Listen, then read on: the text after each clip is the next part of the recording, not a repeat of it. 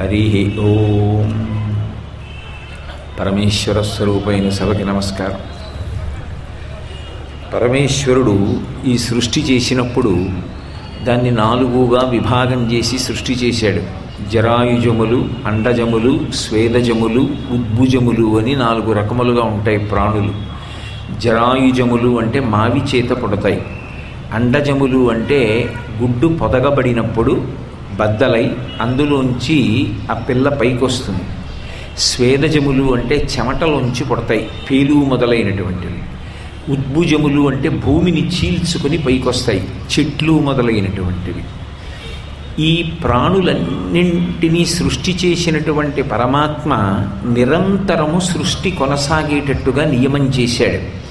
ఈ నిరంతర సృష్టి కొనసాగడం అనేటటువంటి ఆయన ఆలోచన వెనక ఒక పవిత్రమైనటువంటి కారణం ఉంటుంది ఈశ్వరుడు ఏది చేసినా ఏ ఏదో అయోమయంతోటో లేకపోతే ఒక నిర్దిష్టమైనటువంటి కారణం లేకుండానో ఆయన ఎప్పుడూ చెయ్యడు. ఆయన సర్వజ్ఞుడు.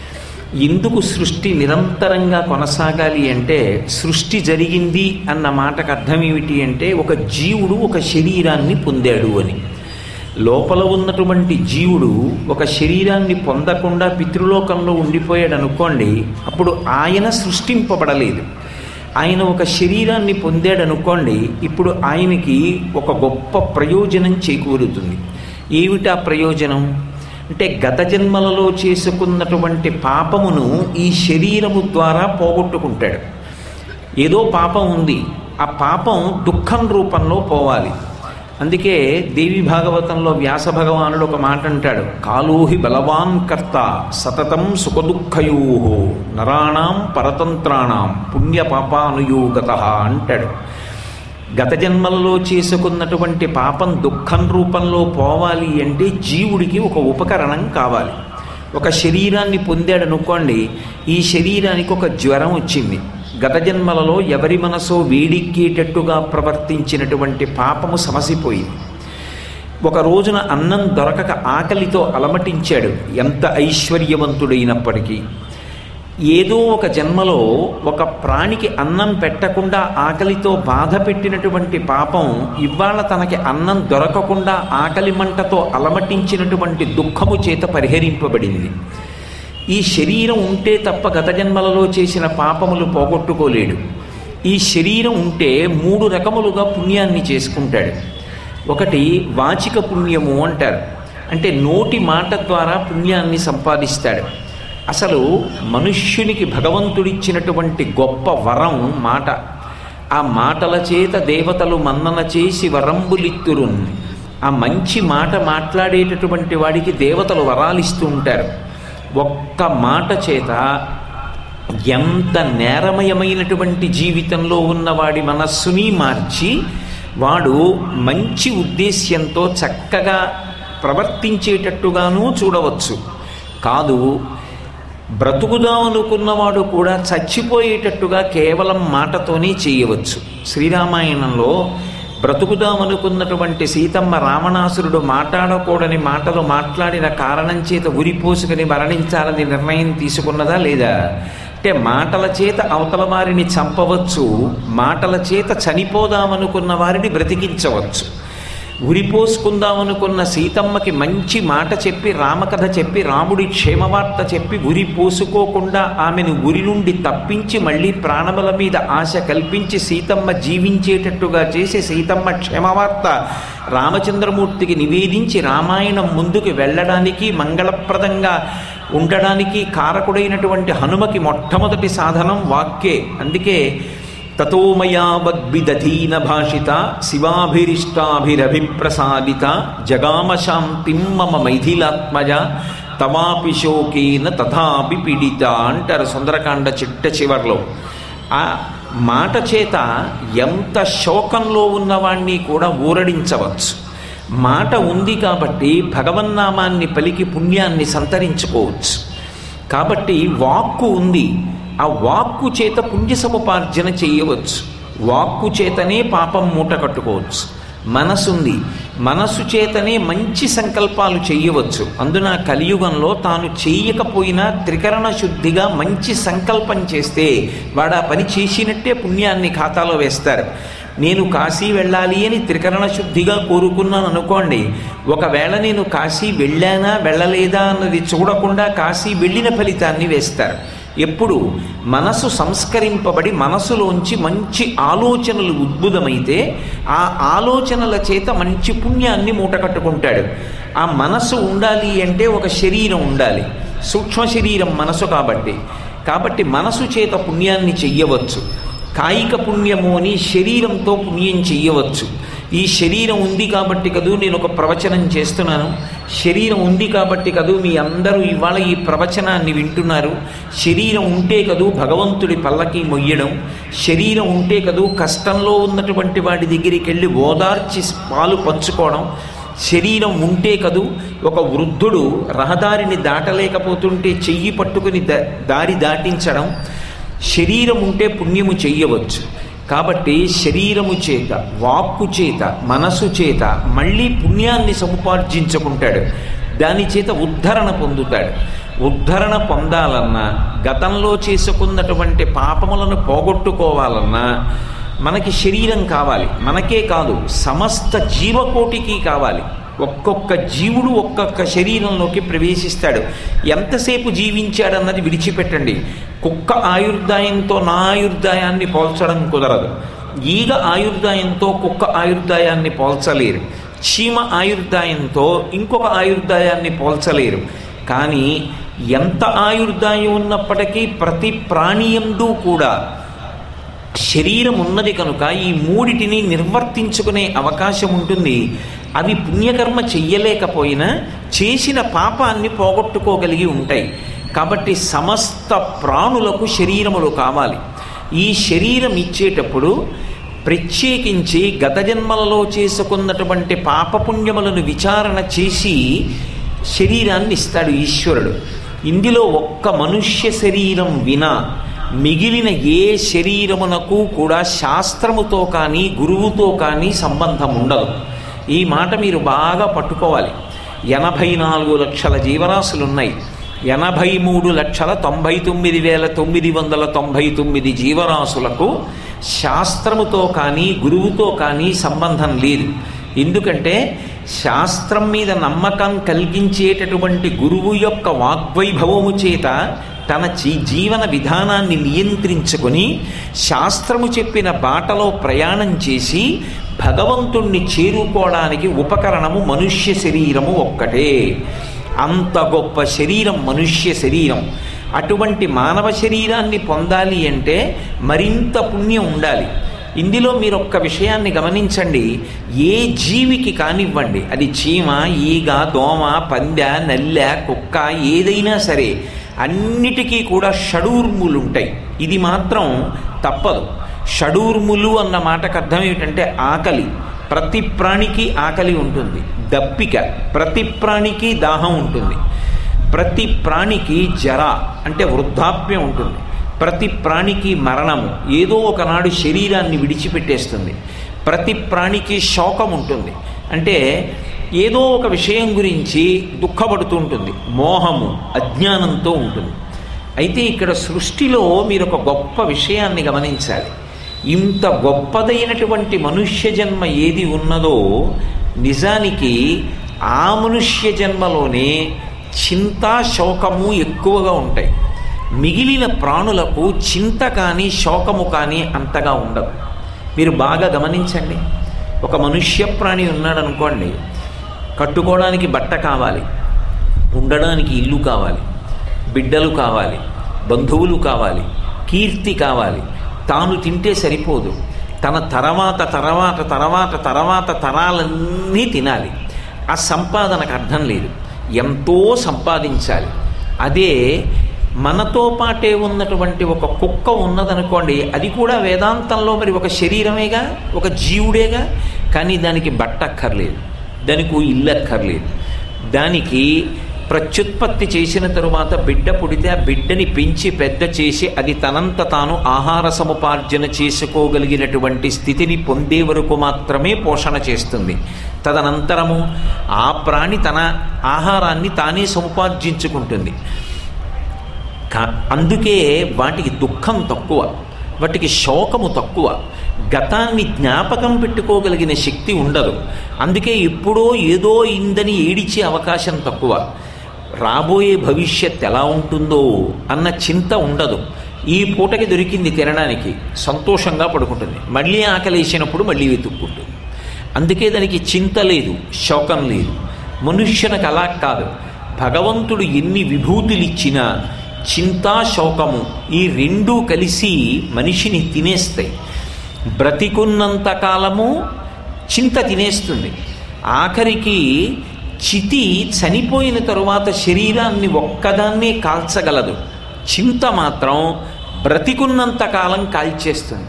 అటువంటి చింతాశోకముల యొక్క కలగలుపై మనుష్య జీవితం ఉంటుంది. అయినప్పుడు మీరొక్క విషయాన్ని జ్ఞాపకం పెట్టుకోండి. అన్ని ప్రాణులకు షడూర్ములున్నప్పటికీ అన్ని శరీరములలో ఉండేటటువంటివి సప్తధాతువులే. చర్మము రక్తము మాంసము కొవ్వు అస్థి శుక్ల మేధ. ఈ ఏడు పదార్థములు తప్ప ఎనిమిదవ పదార్థము ఒకటి అదనముగా ఉన్నది అని చెప్పడం సాధ్యం కాదు. అన్ని ప్రాణులకు ప్రత్యేకించి నేను చెప్తున్నది స్త్రీ పురుష విభాగంలో మనుష్యుల ఎందు.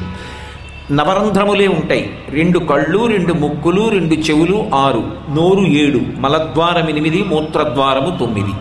ఇద్దరి ఎందు పదివాయువులే తిరుగుతాయి. ప్రాణ అపాన వ్యాన ఉదాన సమాన నాగ కూర్మ కృకర ధనంజయ దేవదత్తములనేటటువంటి పది వాయువులు తిరుగుతూ వ్యా జీవన వ్యాపారాన్ని చక్కబెడుతుంటాయి. మరి అటువంటప్పుడు అసలు ఈశ్వరుడు ఎందుకు స్త్రీ పురుష విభాగం చెయ్యాలి? అన్ని ధర్మములు ఒక్కటే అయినప్పుడు ఆ శరీరములకు షడూరుములు ఒక్కటే అయినప్పుడు ఉన్న పదార్థములు ఒక్కటే అయినప్పుడు రెండిటి ఎందు ఏ విధమైన ఇతర సం భేదములు లేనప్పుడు కేవలముగా కొద్ది మార్పుల చేత శంకర భగవత్పాదుల మాటలలో చెప్పాలి అంటే నారీస్తన భరణాభీదేశం దృష్ట్వామాగా మోహావేశం అంటారు. పురుష శరీరమునకు స్త్రీ శరీరమునకు ఉండే ప్రధాన భేదం ఒక్కటే స్త్రీ యొక్క శరీర ఊర్ధ్వభాగమునందు కొవ్వు మాంసము రెండు చోట్ల పైకి ఉబికి ముద్దలుగా ఏర్పడ్డాయి. అధోభాగమునందు పురుష శరీరం కన్నా భిన్నంగా ప్రాణి బయటికి రావడానికి కావలసినటువంటి వ్యవస్థ ఏర్పాటు చేయబడి ఉంది. కేవలము ఈ రెండు మార్పులు వినా మిగిలినటువంటి శరీర ధర్మములన్నీ ఒక్కటే. అసలు ఎందుకు స్త్రీ పురుష విభాగం చెయ్యాలి పరమేశ్వరుడు? అసలు స్త్రీ పురుష విభాగం అవసరం ఎందుకు వచ్చింది దీనికి ఒక ప్రధానమైనటువంటి కారణం ఉంది. ఈశ్వరుడు ఒకప్పుడు ప్రజాపతులను సృష్టి చేశాడు. ఈశ్వరుడు అంటే నేను బ్రహ్మగారిని దృష్టిలో పెట్టుకుని మాట్లాడుతున్నాను. చతుర్ముఖ బ్రహ్మగారిని సృజించి నువ్వు ఈ సృష్టి కార్యాన్నంతటినీ కూడా నిరాఘాటంగా కొనసాగించు. జీవులందరికీ శరీరములు ఇవ్వాలి ఆ శరీరములు పొందినటువంటి జీవులు దాన్ని ఉపయోగించుకుని గత జన్మలలో చేసి ఉన్నటువంటి పాపములను పోగొట్టుకోవాలి పుణ్యకార్యములు చేసుకోవాలి. ఇది నిరంతరం కొనసాగుతూ ఉండాలి. ఏదో ఒక శరీరం ఇచ్చి నువ్వు సాధించుకోలేకపోయావు కాబట్టి నువ్వు అలా అఘోరిస్తూ ఉండని అనకూడదు. మళ్ళీ మళ్ళీ అవకాశం ఇవ్వాలి. మళ్ళీ మళ్ళీ శరీరం ఇస్తూ ఉండాలి అని ఈశ్వరుడు ఆదేశించాడు. వెంటనే చతుర్ముఖ బ్రహ్మగారు మానసపుత్రులను సృజించాడు. తన మనసులోంచి సృజించాడు. ఆ ప్రజాపతులను పిలిచి ఆదేశమిచ్చాడు. మీరు ప్రజోత్పత్తిని చెయ్యండి. మీరు బహుధా విశేషంగా సంతానాన్ని పొందండి. దాని చేత సంతానము పెరుగుతుంది. పెరిగితే నేను ఎక్కువ మందికి శరీరం ఇవ్వడానికి అవకాశం ప్రారంభమవుతుంది అన్నాడు. వాళ్ళు తండ్రి యొక్క మాట పెడచెవిని పెట్టి మాకు ఈ సృష్టి ఎందు ఆసక్తి లేదు. మాకు సంతానోత్పాదన చేయుట ఎందు ఆసక్తి లేదు. సంసారమునందు అనురక్తి లేదు. కాబట్టి మేము శాస్త్రాన్ని గురువుని పట్టుకుని తరించిపోయి మళ్ళీ తండ్రి నీయందే చేరిపోతామని వైరాగ్యంతో తపస్సుకి వెళ్ళిపోయారు. ఆయనకి ఏమి చెయ్యాలో అర్థం కాక మళ్ళీ పరమశివుణ్ణి ప్రార్థన చేశాడు. ఈశ్వర సృష్టి కార్యం జరగట్లేదు. ఎవరికి దాని ఎందు అనురక్తి లేదు. నేను ప్రజాపతులను సృజించినప్పటికీ ప్రజాపతులు వైరాగ్యంతో తపస్సుకి వెళ్ళి వాళ్ళు మళ్ళీ నాయిందే చేరిపోవడానికి ప్రయత్నిస్తున్నారు తప్ప ఎవరూ తామర తంప తంపరగా సంతానాన్ని సృజించడానికి సంసారమునందు ప్రవర్తించడానికి ఇష్టపట్టలేదు దీనికి ఒక ఆధారమును కల్పించమని అడిగాడు. దీని ఉద్దేశ్యం కేవలం ఏదో సంసారమునందు తిప్పడం కాదు. నేను మీకు ముందే మనవి చేసి ఉన్నా. శరీరములు లేకపోతే జీవులు ధరించరు. శరీరము జనన మరణములనేటటువంటి సముద్రాన్ని దాటడానికి ఒక నావ. ఈ నావ ఇవ్వాలి. ఈ నావ ఇవ్వాలంటే ఎలా? వెంటనే పరమశివుడు ఆలోచించాడు. ఆలోచించి మొట్టమొదట తన శరీరాన్నే విభాగం చేశాడు. స్త్రీ పురుష అన్న శరీరంగా ముందు తన శరీరాన్ని విభాగం చేసుకున్నాడు. అదే అర్ధనారీశ్వర స్వరూపం అంటారు. మొట్టమొదట సృష్టిలో స్త్రీ పురుష అన్న రెండు శరీరములు ఎక్కడ ఆవిర్భవించాయంటే ఎవరు ఈ లోకములకంతటికీ తండ్రియో ఆయనే శరీరమునందు రెండుగా విభాగం చేసుకున్నాడు. ఒక ఒకటి స్త్రీ ఒకరు పురుషుడు అన్నారు. ఎందుకు ఇలా చేశావు? అంటే మీరు పవిత్ర హృదయంతో దీన్ని అర్థం చేసుకోవాలి. ఆయన ఒక మాట చెప్పాడు. సంతానోత్పత్తి అనేటటువంటిది ఒక యజ్ఞం. ఆ యజ్ఞము చేసేటప్పుడు ప్రహృష్టమైనటువంటి మనస్సుతో పరమ సంతోషంగా ఒకరి పట్ల ఒకరికి ఆకర్షణ భావము నిలబడాలి. పరమ ఆకర్షణ భావంతో పరమ సంతోషంగా సృష్టి కార్యమునందు జీవులు నిమగ్నమైతే తప్ప తేజోవంతమైనటువంటి సంతానము ఉత్పత్తి కాదు. ఇది ఆర్షధర్మం. ఇప్పటికీ మీరు వైద్యశాస్త్రంలో కూడా ఇదే పరిగ పరిగణనలోకి తీసుకుంటారు. కేవలము స్త్రీ పురుషుల యొక్క కలయిక కాదు. ప్రహృష్టమైనటువంటి మనస్సులతో పరమ సంతోషంగా ధార్మికంగా ఆ సంతానము కొరకు అందుకే వివాహం చేసేటప్పుడు ప్రధాన సంకల్పం ఏమిటంటే ధర్మ ప్రజాపత్యర్థం. ధార్మికమైన సంతానము కొరకు నా కామమును ఈమె ఎందు నిక్షేపిస్తున్నాను అని. అలా ఒండురుల ఎందు ఆకర్షణతో పరమ సంతోషంతో వాళ్ళు సృష్టి అన్న యజ్ఞాన్ని కొనసాగిస్తే తేజోవంతమైనటువంటి శరీరములు వస్తాయి వాళ్ళిద్దరి మధ్య ఆకర్షణ లోపించిన వాళ్ళిద్దరికీ ఆ సృష్టి చేసేటటువంటి కార్యంలో సంతోషం లేకపోయినా ప్రహృష్టత కదల కలగకపోయినా ఎవరు దెబ్బతింటారు అంటే కలిగేటటువంటి సంతానము తేజోవిహీనమవుతుంది. వాడు తేజోవిహీనుడయ్యాడు అనుకోండి శరీరం ఉంటుంది. కానీ మనస్సు తేజోవంతము కాదు కాబట్టి వాడు తరించడానికి అవకాశం ఉండదు. అందుకే ఆ సృష్టి అంత పవిత్రంగా కొనసాగడం కోసం అందము ఆకర్షణ అన్న రెండు మాటలను ఈశ్వరుడు సృజించాడు. అందాన్నంతటినీ తీసుకెళ్ళి పురుష శరీరంలో ఉంచాడు. ఆకర్షణనంతటినీ తీసుకెళ్ళి స్త్రీ శరీరమునందు నిక్షేపించాడు.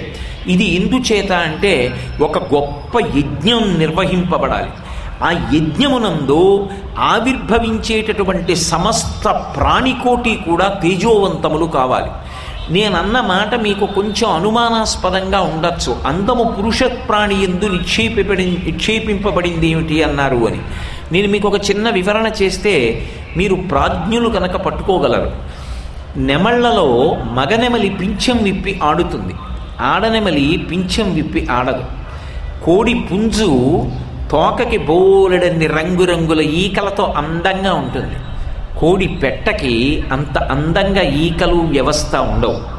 సింహానికి పెద్ద జూలుతో ఉంటుంది. ఆడసింహం అంటే శివంగికి అంత జుత్తు అవి ఉండవు. మీరు లోకంలో ఎక్కడైనా గమనిస్తే యథార్థమునకు అందం పురుష ప్రాణి ఎందుంచుతాడు ఈశ్వరుడు. ఆకర్షణ స్త్రీ ప్రాణి ఎందుంచుతాడు? ఇవి ఏవో చౌకబారుతనం కోసం చేసినది కాదు. మళ్ళీ మళ్ళీ మళ్ళీ మళ్ళీ మనవి చేస్తున్నాను. దానికి కారణం ఎందుకు సృజించవలసి వచ్చింది అంటే రాబోయేటటువంటి ప్రాణులు తేజోవంతములు కావాలి. అంత తేజోవంతములై తరించాలి. తరించడానికి ఏదో ఒక మార్గాన్ని బాగా పట్టుకోగలిగినవి కావాలి. అటువంటి తేజస్సు కలగాలి అంటే వాళ్ళిద్దరికీ ఒక ప్రహృష్టత ఉండాలి ఒక సంతోషం ఉండాలి యజ్ఞంలో. అందుకని రెండుగా విభాగం చేశాడు. విభాగం చేసి స్త్రీ పురుష అని రెండు ప్రాణులను విభాగం చేశాడు. ఇందులో పురుష ప్రాణి సహజముగా శాస్త్రాన్ని అనుష్ఠాన పర్యంతంలోకి తెచ్చుకోవడంలో ఆయనకు ఉండేటటువంటి సౌలభ్యం రీత్యా ఆయన కొంచెం పై స్థానంలో నిలబడి ఉంటాడు అనేటటువంటిది నిస్సందేహం. ఎందుచేత అంటే ఓ యజ్ఞం చెయ్యాలన్నా ఒక యాగం చెయ్యాలన్నా ఒక దేవాలయానికి వెళ్ళాలన్నా కొంతసేపు జపం చేసుకోవాలన్నా ఆర్షగ్రంథ పఠనం చెయ్యాలన్నా ఆయనకు ఉండేటటువంటి అవకాశం ఎక్కువగా ఉంటుంది. స్త్రీ ప్రాణికి ఉండేటటువంటి అవకాశం తక్కువగా ఉంటుంది. కానీ ఇందులో మరి ఈశ్వరుడు పక్షపాతం చూపించలేదా? ఒకరికి అవకాశం తక్కువ కల్పించి ఒకరికి అవకాశం ఎక్కువ కల్పించలేదా అని ఆలోచన చేస్తే అసలు వేదం యొక్క హృదయంలో మీకు కొన్ని అద్భుతాలు కనపడతాయి. పురుష ప్రాణిని సంస్కరించవలసిన అవసరం ఉన్నది అని పరమేశ్వరుడు నిర్ణయం చేశాడు. ఆయన మనసు సంస్కరింపబడాలి. ఎందుచేత అంటే బలం ఎక్కువ ఉంచాడు కనుక చాలా జాగ్రత్తగా దాన్ని సంస్కారయుతంగా ప్రవహించేటట్టుగా చెయ్యాలి. సహజముగా పుట్టుకతోటే అంత సంస్కారవంతము చేయవలసిన అవసరం లేకుండానే ఉదార బుద్ధితో పది మంది కొరకు అని ప్రవర్తించగలిగినటువంటి విశాల హృదయం కలిగినటువంటి ప్రాణి స్త్రీ ప్రాణి. అందుకే భగవంతుడు పురుష ప్రాణికి పెట్టినన్ని కఠినమైనటువంటి నియమాలు స్త్రీ విషయంలో విధించలేదు. మీకు నేను ఒక్క విషయం మనవి చేయవలసి వస్తే కొంతమందికి ఉపనయన సంస్కారం చేస్తారు యజ్ఞోపవీతం వేస్తారు కొన్ని వర్ణాల వాళ్ళకి బ్రాహ్మణ వైశ్య క్షత్రియులకు.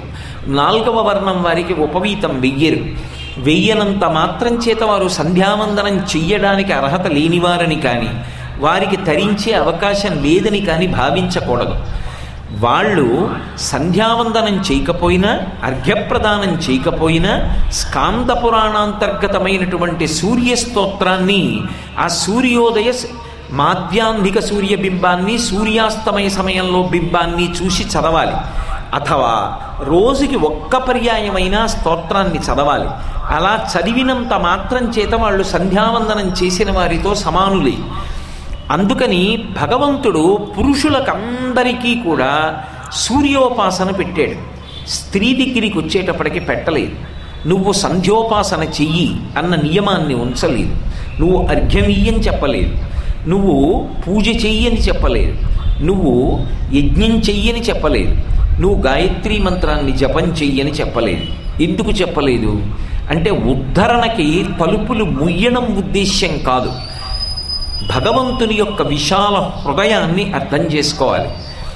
ఒక ఆడపిల్ల నిద్ర లేవడానికి ఒక మగపిల్లవాడు నిద్ర లేవడానికి ఉండేటటువంటి తేడా చూడండి. మగపిల్లవాడు నిద్ర లేస్తే అమ్మ నిద్ర లేపుతుంది. అక్క చెల్లెళ్ళు నిద్ర లేపుతారు. ఒరే నిద్రలే నాన్నగారు లేచి సంధ్యావందనం చేసుకుంటున్నారు. నాన్నగారు సంధ్యావందనం చేసుకొచ్చేటప్పటికి నువ్వు ఇలాగే పడుకుంటే దెబ్బలాడతారు. సూర్యోదయం అయిపోతోంది. లేచి నువ్వు కూడా అర్ఘ్యమి అంటుందమ్మ. అసలు మొట్టమొదట మగపిల్లవాడికి ఉపనయన సంస్కారం పొందడానికి అర్హత ఎక్కడి నుంచి వచ్చింది? అమ్మ మాతృభిక్ష వేస్తే కదూ అమ్మ ఉంగరం పెడితే కదూ వాడు ఆచమనం చేస్తున్నాడు. అమ్మ దగ్గర నుంచి పురుషుడికి ఉద్ధరణ ప్రారంభమైంది. అసలు ఆ స్త్రీ శరీరం లేకపోతే పురుషుడికి జన్మ ఎక్కడది?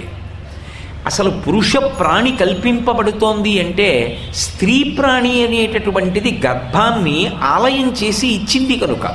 నిద్ర లేపితే స్త్రీ. ఆ ఈ పిల్లవాడు నిద్ర లేచాడనుకోండి స్నానం చేసి పూజా మందిరంలోకి పోతాడు. గాయత్రి చేస్తాడు. వాడు మనసు పెట్టి చేశాడో చేయలేదో వాడికే తెలియాలి. కానీ నేను ఎవరిని తక్కువ చేసి మాట్లాడను. వాడు అలా మనసు పెట్టి చేస్తున్నాడని నేను మాట్లాడతాను. కానీ ఒక ఆడపిల్లకి ఈ అవసరం ఉండదు. ఉండకుండానే తనంత తానుగా ఒక ఆడపిల్ల నిద్ర లేచిందనుకోండి అయ్యో పాపం అమ్మ ఒక్కతే చేసుకుంటోంది నాన్నగారు పూజ చేసుకోవాలని తాను గబగబా పూజా మందిరాన్ని తుడుస్తుంది. తాను పట్టుకొచ్చి నీళ్ళు అక్కడ పెడుతుంది. పెరట్లోకి వెళ్ళి పువ్వులు కోసి తెస్తుంది. అమ్మ గబగబా ఏ నైమిత్తిక తిథో అని వంట చేస్తుంటే బయట తుడిచి ఆ పేడ నీళ్ళు చల్లి ముగ్గులు పెడుతుంది. అన్నయ్య కోసం తమ్ముడి కోసం అక్క చెల్లెళ్ళ కోసం తల్లి కోసం తండ్రి కోసం సమాజం కోసం ఆ పిల్లకి ఎవరు నేర్పవలసిన అవసరం లేకుండా నిద్ర లేచినది మొదలు తన తోబుట్టువుల కోసమని చెప్పి వాళ్ళ అభ్యున్నతి కోసమని ప్రవర్తించడం ఆ పిల్లకి సహజంగా అలవాటుగా వచ్చింది. వీడికి అలా వస్తుందని నమ్మకం లేదు. వీడికి సంధ్యావందనం పెట్టలేదనుకోండి వీడు ఎక్కడో కూర్చుని అక్కర్లేని విషయాన్ని దేన్నో ఎంచుకుంటాడు.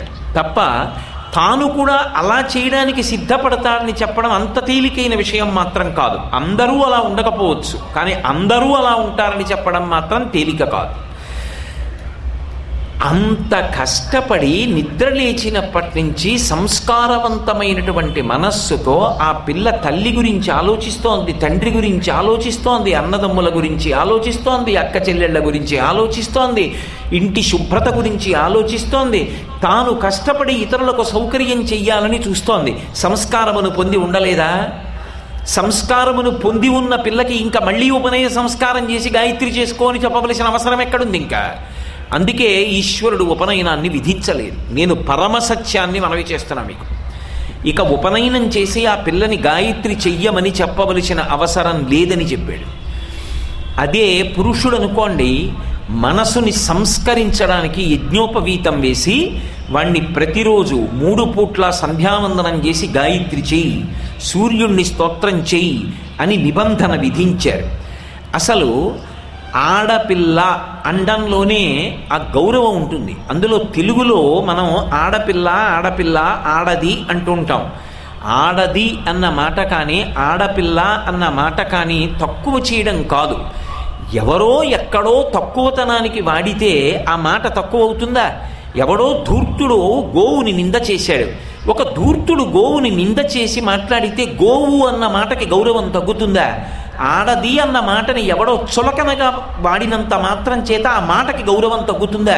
ఆ మాట గౌరవం ఏమిటో అర్థం చేసుకోవాలి. ఆడపిల్ల అన్న మాటకు అర్థం ఏమిటంటే ఈడపిల్ల కాదు అని అర్థం. ఈమె ఇక్కడ ఉండదు. ఇక్కడే ఉండిపోయేవాడు అనుకోండి మగపిల్లవాడు. ఇక్కడ ఉండడు ఇక్కడ ఉండదు. ఈ పిల్ల ఇక్కడ పుట్టింది అక్కడికి వెళ్ళిపోతుంది. ఆడ అంటే తెలుగులో అక్కడ. ఆడపిల్ల ఈ పిల్ల ఇక్కడ ఉండదు. ఆడ అక్కడ ఉంటుంది. అక్కడ నా స్వస్థానం అని చెప్తుంది. అది నా ఇల్లు అంటుంది ఇది మీ ఇల్లు అంటుంది ఒక రోజున. అలా అనగలిగిన త్యాగమూర్తి అంటే ఇక్కడ పుట్టి అక్కడ కిందకి వెళ్ళిపోతుంది. ఆమె లక్ష్మి. ఆమె నారాయణుణ్ణి వెతుక్కుంటుంది నిత్యానపాయిని. ఆమె నారాయణమూర్తి ఎక్కడున్నాడో చూసుకుంటుంది. అందుకే కన్యాదానం చేసేటప్పుడు తన బిడ్డని లక్ష్మీ స్వరూపంగా భావన చేసి పద్మంలో కూర్చోపెడతారు. బుట్టలో ధాన్యం పోసి కూర్చోపెట్టారు అంటే పద్మంలో లక్ష్మీదేవిని కూర్చోపెట్టినట్టు. వరుడు పీటల మీదకి నడిచొస్తాడు. వధువు నడిచి రాకూడదు. ఎందుకంటే ఆమె లక్ష్మి. కనుక బుట్టలో కూర్చోపెట్టి మేనమామలెత్తి తీసుకొస్తారు.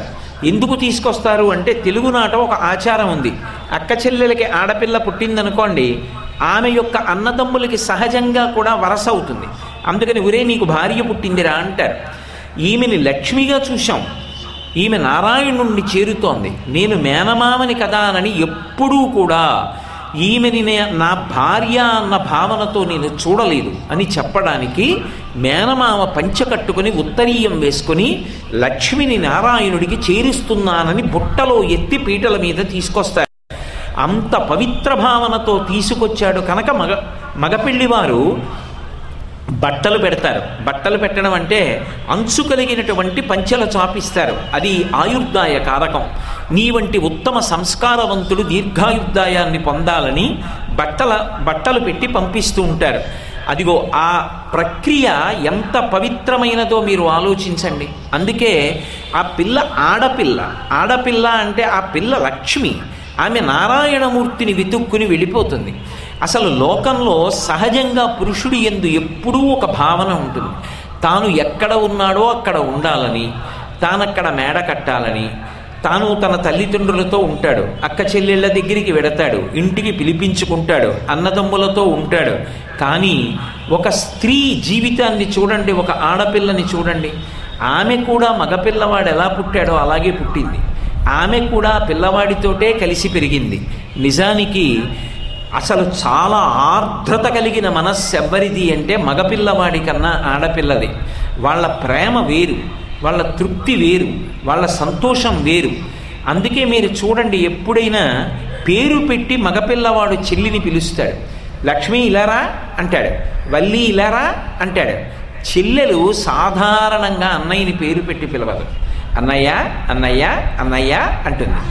చెల్లెల్ని చెల్లెలా చెల్లెలా పెద్ద చెల్లెలా చిన్న చెల్లెలా అని ఎప్పుడు పిలవడం తక్కువగా ఉంటుంది. పేరు పెట్టి పిలుస్తాడు. ఆమె మాత్రం అన్నయ్య అన్నయ్య అన్నయ్య అంటుంది. అసలు ఆ అన్నయ్య అన్న సంబోధనలో అన్నయ్య అన్న పిలుపులో ఎంత మాధుర్యం ఉంటుందో. ఎంత కఠినమైన హృదయమై ఉన్నవాడు కానివ్వండి. ఒకటికి పది మాటలు ఆడపిల్ల పక్కన కూర్చుని అన్నయ్య గారు అన్న అన్న అన్నయ్య అన్నయ్య అందనుకోండి. మెల్లిగా మనసు కరిగిపోతుంది. ఆ సంబోధనలో అంత ప్రేమ ఉంటుంది.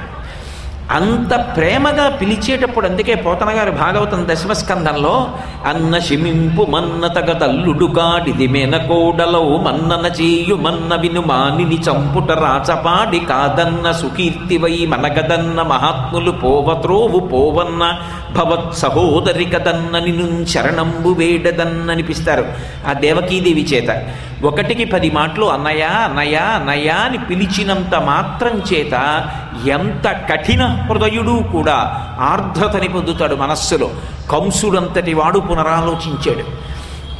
అంతటి మెత్తతనం కలిగిన పిల్ల. మరి ఆ పిల్ల ఇక్కడే పుట్టింది. ఆ పిల్ల ఇక్కడే పెరిగింది. కానీ ఆ పిల్లకి వివాహం అయిందనుకోండి ఆ వరుడితో కలిసి వెళ్ళిపోయేటప్పుడు ఆమె తన పుట్టింటిని విడిచిపెట్టేస్తుంది. తన ఇంటి పేరు విడిచిపెట్టేస్తుంది. తన గోత్రం విడిచిపెట్టేస్తుంది. ఇంతకు పూర్వం ఆమె ఎప్పుడూ చూడలేదు ఆ పిల్లవాణ్ణి? తెర దింపినప్పుడు చూసింది. అందుకు కదా సుముహూర్తం ఒకరి కందులలో ఒకరు చూసుకున్నారు. ఆ పిల్లవాడి చిటికిన వేలు పట్టుకుంటుంది. తన జీవితానికి కష్ట సుఖాలన్నీ ఆయన తోడివే అని నడిచి వెళ్ళిపోతుంది. ఖండాంతరములు దాటి వెళ్ళిపోతాను తాను గర్భిణి అయి పునర్జన్మ పొందినంత క్లేశాన్ని అనుభవించి బిడ్డని కంటే మొదట తాత అయిందెవరు అంటే తన భర్త యొక్క తండ్రి. ఆ వంశం తరించింది ఆ వంశం పెరిగింది. ఆ పిల్ల ఎక్కడి పిల్ల? ఇక్కడ పుట్టినా అక్కడ ఉద్ధరింపచేస్తోంది. ఆ పిల్ల ఎందు ఆ భావన లేదనుకోండి అసలు ఈ సృష్టి నిలబడుతుందా? అసలు ఏ కుటుంబంలోనైనా మనశ్శాంతి ఉంటుందా?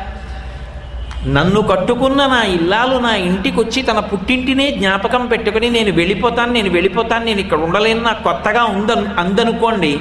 అసలు నాకు జీవితం ఉందా? అలా లోకంలో ఎక్కడైనా ఎప్పుడైనా ఏ ఆడపిల్లైనా అంటుందా?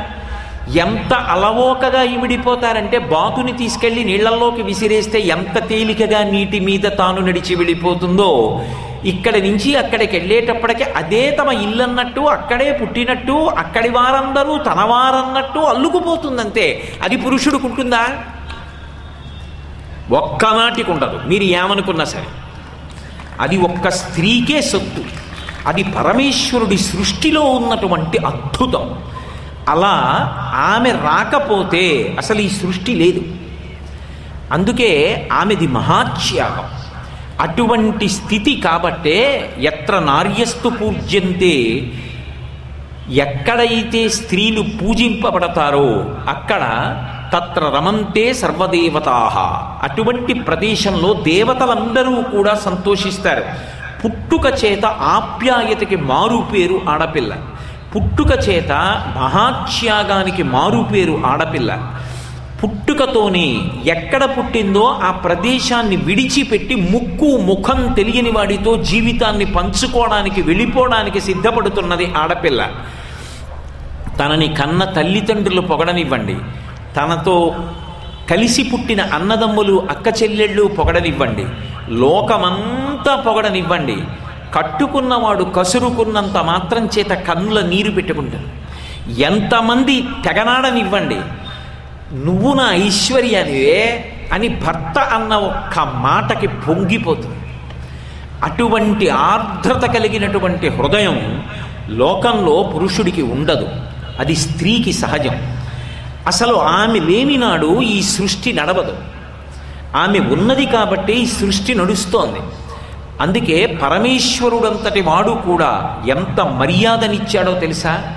ఆడపిల్ల విషయంలో ఎంత గౌరవాన్ని ఇచ్చాడంటే పురుషుడు భగవంతుడి దగ్గరికి వెడితే వెనక ఏవి ఉపాలయాలు లేకపోతే కాళ్ళు భగవంతుడి వైపుకి ఇంకొక గుడి వైపుకి వెళ్ళటం లేదు అని నిర్ధారించుకుంటే సాష్టాంగ నమస్కారం చెయ్యాలి. అంటే నేల మీద పడి నమస్కారం చెయ్యాలి. అదే ఒక స్త్రీ వెడితే ఎంత ప్రశాంతమైన వాతావరణము కానివ్వండి సాష్టాంగ నమస్కారం నిషేధింపబడింది. ఈశ్వరుడు కూడా సాష్టాంగ నమస్కారం స్త్రీలకి నిర్దేశించలేదు. ఆయన కూడా పుచ్చుకోడు. అందుకే స్త్రీల యొక్క నమస్కార ప్రక్రియ ఎందు వక్షస్థలం కానీ నడుము యొక్క కింది భాగం మోకాళ్ళ పైభాగం కానీ భూమిని తాకకూడదు. ఎందుకు తాకకూడదు అని చెప్తారు అంటే చిన్నపుచ్చడానికి కాదు. ఏ శరీరము యొక్క పైన ఉన్నటువంటి పైకి ఉబికినటువంటి రెండు వక్షోజములు సృష్టింపబడినటువంటి ప్రతి ప్రాణి బ్రతకడానికి కారణమవుతున్నాయో విష్ణుతత్వమై పోషణకు కారణమవుతున్నాయో ఏవి లేని నాడు అసలు ఈ సృష్టి మనుగడ లేదో అవి కానీ ఏ రంధ్రము గుండా సమస్త ప్రాణులు ఉత్పత్తి అవుతున్నాయో ఆ అవయవం కానీ భూమికి తగలవలసిన అవసరం లేదు. అవి లేనినాడు అసలు ఈ సృష్టి లేదు. నీ మాతృత్వానికి కారణమైనటువంటి సూచనలైనటువంటి ఆ అవయవములు భూమికి తాకవలసిన అవసరం లేదు. నా ముందు పంచాంగ నమస్కారం చేస్తే చాలని సర్వేశ్వరుడంతటి వాడు స్త్రీ విషయంలో అంత మినహాయింపునిచ్చాడు. ఒక మగపిల్లవాడు ఉన్నాడనుకోండి అతడు ఏ వంశంలో పుట్టాడో ఆ ఒక్క వంశాన్ని తరింప చెయ్యగలడు లేదా ఏడు తరాలనో పది తరాలనో పదకొండు తరాలనో తరింప చేస్తాడు అదే ఒక స్త్రీ ఉందనుకోండి ఒక మంచి స్త్రీ అంటే మంచి స్త్రీ అంటే నా నా ఉద్దేశంలో నేను ఏదో పొగుడుతున్నానా పొగడడానికి అంటున్నాను అనుకోవద్దు. నా దృష్టిలో అయితే అందరూ పరదేవతా స్వరూపులే. ఈ లక్షణం లేని వాళ్ళు ఎవరున్నారు చెప్పండి? భర్తని నమ్ముకుని పుట్టింటిని విడిచిపెట్టి వెళ్ళిపోని స్త్రీ ఎవరుంది ఈ లోకంలో? అయినప్పుడు వాళ్ళందరి ఎందు ఆ ఉదాత్తమైనటువంటి లక్షణం ఉన్నప్పుడు అన్నదమ్ముణ్ణి చూసేటప్పటికి పొంగిపోయే లక్షణం ఉంటే పుట్టింటికి వచ్చి తల్లిని తండ్రిని అన్నదమ్ముల్ని చూస్తే పరవశించిపోయి కరిగిపోయే మనస్సున్న ఆడపిల్లలు ఎక్కడ ఉన్నా పరదేవతా స్వరూపమే. అయినప్పుడు అందులో కొంతమంది ఎక్కువ కొంతమంది తక్కువ అని నేను వర్గీకరించట్లేదు. అందరూ ఒక్కటే. శాస్త్రం ఎలా చెప్పిందో నేను అలాగే మాట్లాడవలసి ఉంటుంది. వాళ్ళు రెండు వంశములను ఉద్ధరించగలరు. ఎందుచేత అంటే వాళ్ళ ఉత్తమమైన నడవడి కారణంగా అటువంటి పిల్లని కన్నందుకు గాను తల్లిదండ్రులు వాళ్ళ వంశం తరిస్తుంది. మెట్టినింటికి వెళ్ళి ఆ వంశాన్ని తరింపచేసింది కాబట్టి వాళ్ళ వంశం తరిస్తోంది. రెండు వంశములను తరింపచేయగలిగినది ఆడపిల్ల ఒక్కతే. మగపిల్లవాడు రెండు వంశములను తరింప చెయ్యడు ఒక్క వంశాన్ని మాత్రమే పురుషుడు తరింప చెయ్యగలడు ఆ కోణంలో చూసినా పురుషుడి కన్నా స్త్రీయే ఎక్కువ. అసలు పురుషుడి యొక్క ధర్మమంతా ఎవరి మీద ఆధారపడింది అంటే స్త్రీ మీదనే ఆధారపడింది. అందుకే ఆర్షధర్మంలో పత్ని అన్న మాట వాడతారు. పత్ని అన్న మాటకు అర్థం ఏమిటంటే తనతో కలిసి యజ్ఞయాగాది క్రతువులలో పీటల మీద కూర్చునేటటువంటి అధికారమును పొందినటువంటి స్త్రీ. ఆమెని పత్ని అంటారు. భార్య అన్న మాట ఎక్కువగా ఉపయోగించరు. ఎందుచేత అంటే భార్య అంటే తన చేత భరింపబడునది అని అర్థం. పత్ని అంటాం. అందుకే మీరు ఎక్కడైనా ఒక దేవాలయానికి వెళ్ళినా ఒక పూజ చేసినా హోమం చేసినా యజ్ఞం చేసినా ధర్మపత్ని సమేతస్య అంటారు. ఆమెయే ధర్మమునకు మారుపేరు ఆమెకి అందుకే ఇక వేరు పూజ పెట్టలేదు. ఆమె లేనినాడు పూజ లేదు. నేనన్న మాటలు ఎవ్వరినీ పొగడడానికి కానీ పక్షపాతంతో కానీ నేను చెప్తున్నవి కావు. నేను చెప్తున్నది శాస్త్రాన్ని ఆధారం చేసుకుని చెప్తున్నాను. శాస్త్రం అంటుంది ప్రతి ఇంట గంట మోగాలి. ప్రతి ఇంట గంట మోగాలంటే పూజ జరగాలి. ప్రతి ఇంట గంట మోగడం ఇప్పుడు సాధ్యం. ధర్మపత్ని ఉంటేనే సాధ్యం. ధర్మపత్ని లేదు. ఏది ప్రతిరోజు వాడిని తెల్లవారకట్ట లేచి వాడి వంట వాడిని చేసుకుని వాడి పిల్లల్ని వాడిని సాకి వాడి పూజ వాడిని చేసుకోమనండి చూస్తాను వేళపట్టును చేయగలడేమో? సాధ్యం కాదు. ఆమె ధర్మపత్ని. అంటే ధర్మమే రాశీభూతమై స్త్రీ స్వరూపంగా వస్తుంది. ఆమెకి పూజ లేదు. ఎందుచేతనంటే ఆమె లేని నాడు పురుషుడికి పూజ లేదు. ఆమె ఇక వేరుగా పూజ చేసిందా చేయలేదా అన్న దానితో సంబంధం లేదు. ఆయన పూజ చేశాడు. అంటే ఆయన కన్నా ముందు ఆమె నిద్రలేచింది అందుకే శ్రీకాళహస్తిలో వాయులింగం కాళహస్తీశ్వరుడి కన్నా ముందు జ్ఞానప్రసూనాంబకి అభిషేకం. ఆమె ముందు స్నానం చేస్తుంది. ఆయన స్నానం చేసి వచ్చేటప్పటికి పూజ గది తుడుస్తోంది. ఆయన పూజ చేసుకోవడానికి సంబారాలు అక్కడ పెడుతోంది. ఆయన మహానైవేద్యం దగ్గరికి వచ్చేటప్పటికి వంట తీసుకొచ్చి అక్కడ పెడుతోంది. ఆయన బిడ్డలకి చదువు చెప్తోంది. బిడ్డల్ని సిద్ధం చేస్తోంది. తాను మహాసంస్కారవంతురాలై నిలబడుతోంది. ఇంత ఉదాత్త చరిత్ర కలిగినటువంటి స్త్రీకి ఇక మళ్ళీ వేరే పూజ చేయవలసిన అవసరం ఏముంది? అందుకే ధర్మపతి సమేతస్య అన్న మాట లేదు. ధర్మపత్ని సమేతస్య. ఆమె పక్కన కూర్చోవక్కర్లేదు. ఆమె కూర్ ఆమె లేనినాడు పురుషుడు చేసిన పూజ దూష్యమవుతుంది. ఎందుకు చేతనో తెలుసా? పూజ ప్రారంభంలో మీరు ఎడం చేత్తో దేన్నైనా ముట్టుకుంటే ఆ పూజ దూష్యమే ఉపనయనం చేశారనుకోండి బ్రహ్మచారిగా ఉంటాడు. ఏదో సంధ్యావందనం చేసుకోవాలి. సంధ్యావందనం చేయాలంటే ఆచమనం చేయాలా? ఆచమనం చెయ్యాలంటే ఇలా ఎడం చేత్తో తీసుకుని కుడి చేతిలో వేసుకుని ఓం కేశవాయ స్వాహ అనాలా? అన్నాడు అంటే ఎడం చేత్తో నీళ్ళు ఎత్తాడు అంటే వెంటనే దూష్యమైందా లేదా? తాడేపల్లి రాఘవనారాయణ శాస్త్రి గారు మహాపురుషులు. మీకు చాలా దగ్గరేగా తెనాలి అవిని చందోలు గ్రామంలో ఉండేవారు ఆయన. తాడేపల్లి రాఘవనారాయణ శాస్త్రి గారికి వివాహం జరిగిన రోజు రాత్రి వారు అరుగు మీద కూర్చుని ఉన్నారు. వాళ్ళ మామగారు వచ్చి ఒక మాట అడిగారు. ఏమో ఎందుకు పెళ్ళి చేసుకున్నావు? అన్నారు. ఆయనకి చాలా కోపం వచ్చింది ఎందుకు పెళ్ళి చేసుకున్నావని పిల్లనిచ్చిన మామగారు అడుగుతాడు పైగా ఇంతమందిలో అసహ్యంగా లేదు అని ఆయనకి చీకాకు కలిగింది. కలిగి వెంటనే మామగారు ప్రాజ్ఞుడు విద్వాంసుడు ఎందుకు అడిగాడు ఈ మాట? అని ఆయనకి ఉపాసన ఉంది. బాలాదేవి ఆయనకి పలికేది. ఆయన వెంటనే కళ్ళు మూసుకుని బాలాదేవిని మనసులో ప్రార్థన చేశారు. వెంటనే అమ్మవారంది కుడి చేత ఆచమనం చేయడానికి అని చెప్పు అంది. కుడి చేత్తో ఆచమనం చేయడానికి అన్నారు ఆయన. ఆ మామగారు పొంగిపోయారు. ఎంత ధర్మం మాట్లాడవయా అన్నారు. నాకు వివాహం అయిపోయిన తర్వాత పూజలో నేను వేసుకోకూడదు ఆచమనం. ఇవాళ అదొక అర్థం లేని ఆచారం అయిపోయింది. పూజ చేయించేటప్పుడు కూడా పురుషుడు స్త్రీకి వేస్తాడు కానీ తన ఆచమనం తాను చేస్తాడు అలా చెయ్యకూడదు. తానే ఎడం చేత్తో వేసుకుంటే ఇంకా ధర్మపత్ని ఎందుకు అవుతుంది? తన ధర్మమునకు ఉపకరణం. బ్రహ్మచర్యం దాటాడు గృహస్థాశ్రమంలోకి వెళ్ళాడు. పూజ ప్రారంభంలో ఆమె వచ్చి తన ఎడమవైపు నిలబడి ఆచమనీయం వేస్తుంది. ఆచమనం పుచ్చుకున్నాడు ఆవిడ పని చేసుకోవడానికి వెళ్ళిపోతుంది. ఇక పూజ అంతా ఆమె పక్కన కూర్చుని ఉన్నట్టే. అందుకే దేశకాల సంకీర్తనంలో ధర్మపత్ని సమేతస్య అని చెప్పేస్తాడు. పైగా ఆమె ఉన్నది కనుక కామము ధర్మము చేత ముడిపడుతోంది. అది ఏదో కామము విశృంఖలత్వాన్ని పొందిందనుకోండి అసలు లోకమునందు ధార్మికమైనటువంటి సంతానోత్పత్తి ఉండదు వావివరసలు ఉండవు. కానీ తన యొక్క కామాన్ని ధర్మంతో ముడివేస్తున్నాడు. నాతి చరామి నేను ఈమెను అతిక్రమించను అని ఒండరులు అంగీకారం చేసుకుని తన కామాన్ని ధర్మంతో ముడివేస్తే ధర్మమే రాశీభూతమై పత్ని స్వరూపంతో పక్కకొచ్చింది. ఇప్పుడు ఆయన తేజస్సుని ఆమె భరిస్తోంది. భరిస్తే అర్థము ఆయన యొక్క ధర్మము కామము ముడిపడ్డాయి. ఆయన కామము ధర్మము చేత ముడిపడింది. ధర్మపత్ని ఎందు కామాన్ని ఉంచాడు. ఇప్పుడు ఒక గొప్ప అర్థం వచ్చింది. అర్థము అంటే సమస్తమైనటువంటి సుఖములకు సాధనములను అర్థము అని పిలుస్తారు. డబ్బొక్కటే కాదు అర్థం అంటే కామం అంటే అన్ని వేళలా స్త్రీ పురుష సంబంధమే కాదు. నాకు ఏదో ఒక మంచి పంచ కట్టుకుందాం అనిపించింది అనుకోండి అటువంటి అంచున్న పంచ కట్టుకోవాలన్న కోరిక కూడా కామమే.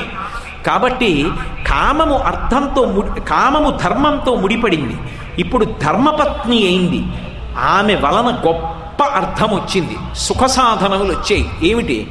ఒక కొడుకు పుట్టాడు. ఒక కూతురు పుట్టింది. ఇప్పుడు ఈ కూతుర్ని కన్యాదానం చేశాడు. దశ పూర్వేషాం దశాపరేషాం. పది తరాలు ముందు పది తరాలు వెనక. తనతో కలిపి ఒక తరం. ఇరవై ఒక్క తరాలు తరించాయి మీరు ఒక్క మాట బాగా జ్ఞాపకం పెట్టుకోవాలి. లోకంలో ఏ వస్తువునైనా దానం చేస్తే చతుర్థి విభక్తి వేస్తారు. అంటే ఇక ఆ వస్తువు మీద నాకు యాజమాన్య హక్కు ఉండదు. దాన్ని చూసినా నేనిచ్చానన్న భావన నాకు రాకూడదు. నేనెవరికో ఒక మంచి గండభేరుండం అంచున్న పంచెనిచ్చాను. ఆయన ఆ పంచె కట్టుకుని మరనాడు వచ్చారు. నేను చూసి నేను ఇచ్చిన పంచే బాగుంది ఆయనకి? అనకూడదు. నేను ఇచ్చేశాను వదిలిపెట్టేయాలంతే. దాన్ని దాన్ని ఇంకా నేను ఇచ్చానన్న భావన ఉండకూడదు. ఆడపిల్లని కన్యాదానం చేసేటప్పుడు వ్యవహారం రీత్యా కన్యాదానం అంటారు కానీ ఆడపిల్లని దానం చెయ్యడం అంటే చతుర్థీ విభక్తి వెయ్యరు. అందుకే ఆడపిల్ల మీద ధార్మికమైనటువంటి హక్కు ఆ కుటుంబంలో సభ్యత్వం పుట్టినింటి యందు ఆడపిల్లకి ఎప్పుడూ ఉంటుంది. నాకు చూడాలనుందయా? ఒక పది రోజులు నా కూతుర్ని తీసుకెడతాను అని అడిగే అధికారము కన్న తండ్రికి ఉన్నది. వద్దు అని అనే అధికారం భర్తకి కానీ అత్తమామలకి కానీ ఎవ్వరికీ శాస్త్రంలో లేదు. తండ్రికి తల్లికి తోబుట్టువులకు ఆ అధికారం ఉంటుంది. ఇంకా నేను యథార్థం చెప్పవలసి వస్తే తండ్రి ఇంట శోభన కార్యం అవుతోందనుకోండి ఒక మంగళప్రదమైన కార్యం ఏదో అవుతోంది. అల్లుడి గారి మీద ఉన్న గౌరవం చేత ఆహ్వానం చేస్తారు తప్ప ఆహ్వానం చెయ్యకపోయినా సరే కూతురు అల్లుడు వెళ్ళవలసిందే. ఎందుకో తెలుసా? నేను చెప్పట్లేదు ఈ మాట. దక్షయజ్ఞం విషయంలో పార్వతీదేవి పరమశివుడితో చెప్పింది. ఏం శంకరా మీకు తెలియని విషయమా? మీకు తెలుసు కదా అనయము పిలువకయుండన్ చన అనుచిత మందువేమి జనక గురు రాజ సుహృత్ గేహములకు చనుచుందురు పిలవకున్న సజ్జనులధిపా అంది. కొందరి కొందరి ఇళ్ళకి పిలవకపోయినా వెళ్ళాలి. ఎవరింటికి వెళ్ళాలి అంటే జనక. ఓ శివ మా నాన్న దక్ష ప్రజాపతి పిలవలేదని అలక పిలవకపోయినా ఆడపిల్ల అల్లుడు వెళ్ళాలిగా మీకు తెలియని ధర్మమా? ఈశాన సర్వ విద్యానాం ఈశ్వర సర్వభూతానాం బ్రహ్మాధిపతి బ్రహ్మణోధిపతి బ్రహ్మ శివోమే అస్తు సదాశివోం. అటువంటి మీకు తెలియదా? వెళ్ళాలి కదా. జనక జననాయక రాజ్య పరిపాలన చేసేటటువంటి రాజు యొక్క ఇంట్లో శుభకార్యం జరిగితే పిలుపక్కర్లేదు వెళ్ళాలి. సుహృద్ మంచి స్నేహితుడు మనసెరిగిన స్నేహితుడు ఆ స్నేహితుడు పిలవక్కర్లేదు ఆయన ఇంట్లో శుభకార్యం వెళ్ళాలి. గురు గురువు గారి ఇంట్లో ఉత్సవం జరుగుతోంది పిలవక్కర్లేదు వెళ్ళాలి. చనుచుందురు పిలవకున్న సజ్జనులధిప పిలవకపోయినా వెడతారు కదా? శంకరా మీకు తెలియదా అని అడిగింది. అందుకే చతుర్థి విభక్తి వెయ్యరు కాబట్టే ఆడపిల్లని కన్యాదానం చేసిన ఆమె యొక్క ఉత్తమమైన నడవడి చేత ఆమెని కన్న తల్లిదండ్రులు కూడా అభ్యున్నతిని పొందుతున్నారు. రెండు వంశాలు తరిస్తున్నాయి కన్యాదాన సమయంలో ఇరవై ఒక్క తరాలు తరిస్తున్నాయి. ఇంత పుణ్యాన్ని మూట కట్టి పెట్టి ఇవ్వగలిగినటువంటిది ఆప్యాయతకి రాశీభూతమైనటువంటిది లోకంలో ఎవరు అంటే ఒక్క స్త్రీ మాత్రమే ఆడపిల్ల మాత్రమే. అంత వైభవం నిజానికి పురుషుడికి కట్టపెట్టలేదు. ఇంకా నేను మాట్లాడవలసి వస్తే ఆమెని వివాహం చేసుకుని ఆమె ఎందు తన కామాన్ని ధర్మంతో ముడివేసి ప్రవర్తింపచేశాడు కనుక అర్థాన్ని పొందుతున్నాడు. అర్థం అంటే ఇందాక నేను మీతో మనవి చేసి ఉన్నాను. సమస్త సుఖములకు కారకమైనటువంటి సాధనములు. కొడుకు కూతురు. కూతురు పుట్టింది. తాను కన్యాదానం చేశాడు. తన ఇరవై ఒక్క తరాలు తనతో కలిపి తరిస్తున్నాయా లేదా? ఇప్పుడు తరించడానికి కారణం ఆడపిల్ల పుట్టినందువల్లేనా? ఆ ఆడపిల్ల ఆడపిల్ల ధర్మపత్ని వల్లనేనా వచ్చింది? రెండు. అటువంటి గృహిణి అటువంటి ఇల్లాలు కొడుకుని కనిచ్చింది. ఇచ్చింది కాబట్టి మనసుకి ఒక భరోసా ఉంది. ఏమిటా భరోసా? అంటే అది మూడు రకాలుగా ఉంటుంది ఎంది శాస్త్రం.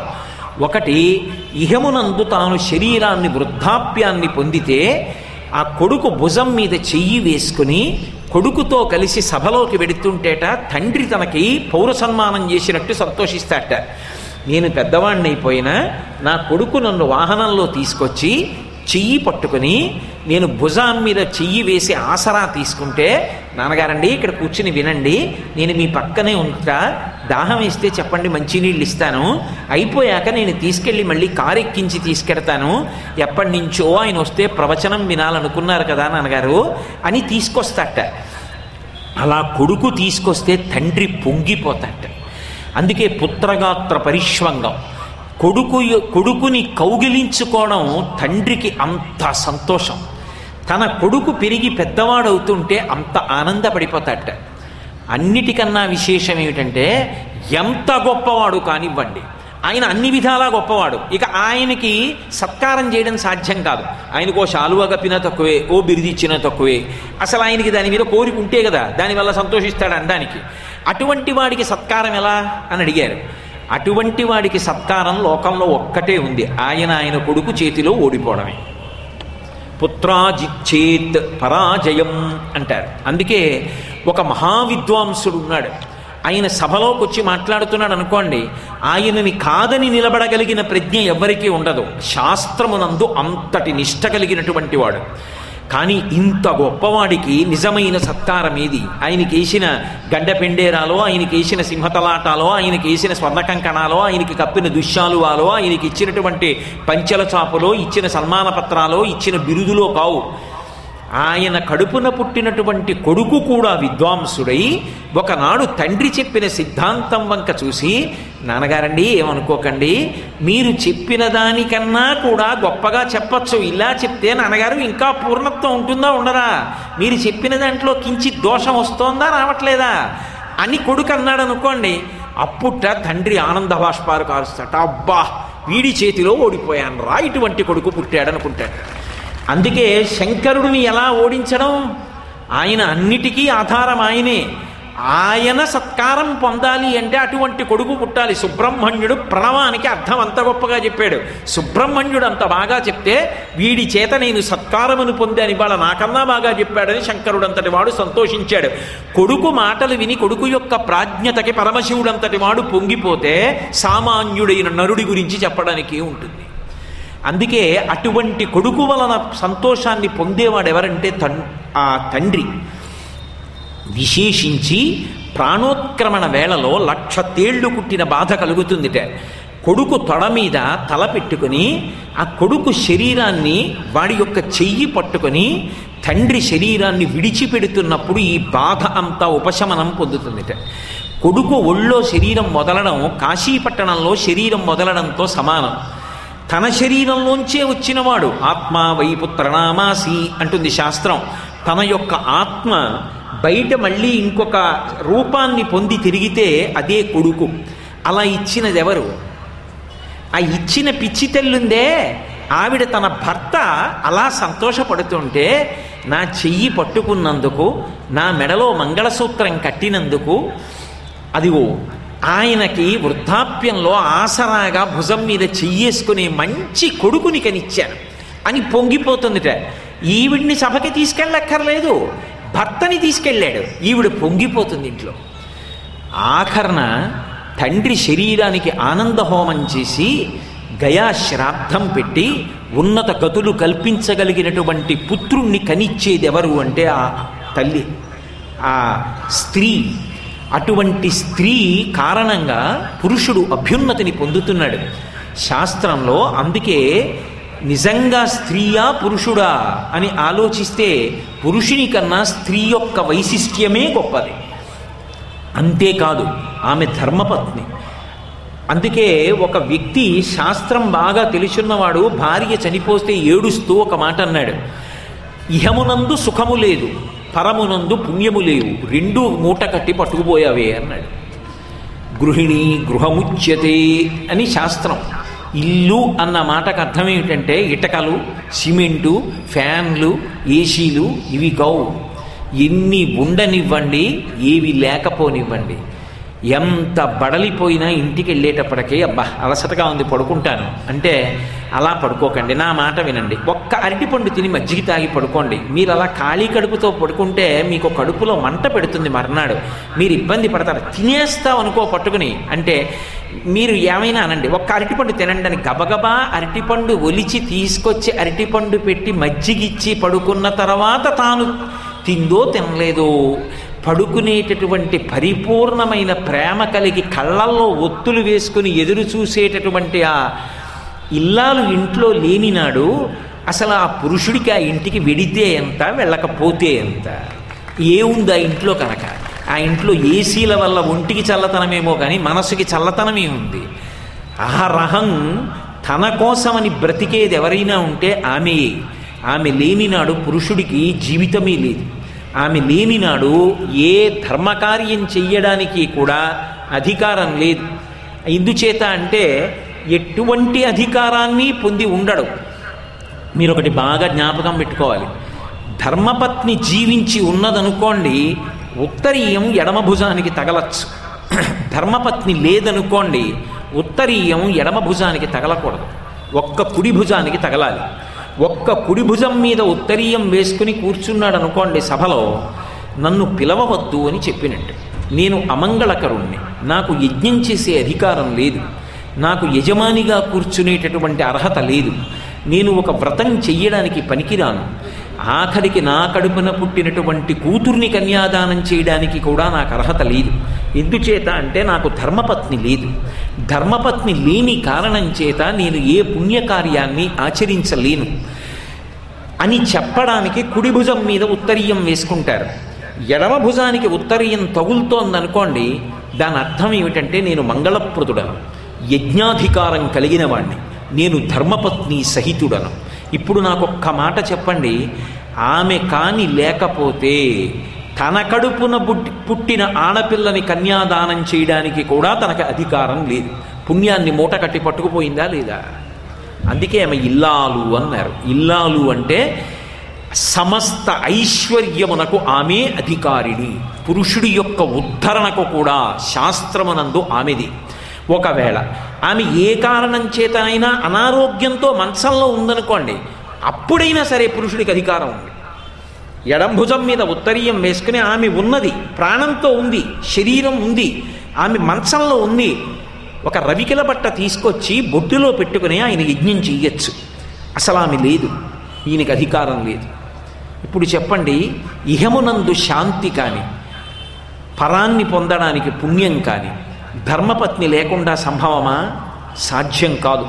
సనాతన ధర్మంలో ఆ దంపతుల యొక్క వైశిష్ట్యం అంత గొప్పది. అందున స్త్రీ యొక్క విశేషం అంత గొప్పగా ఉంటుంది. అందుకే వివాహం అయిపోయిన తర్వాత ఆ అగ్నికార్యం చేసేటప్పుడు పురుషుడు భార్యను ఉద్దేశించి కొన్ని మ- విషయాలు అడుగుతాడు. నువ్వు ఎప్పుడూ జుత్తు విరబోసుకుని నాకు కనపడకుండదువుగాక.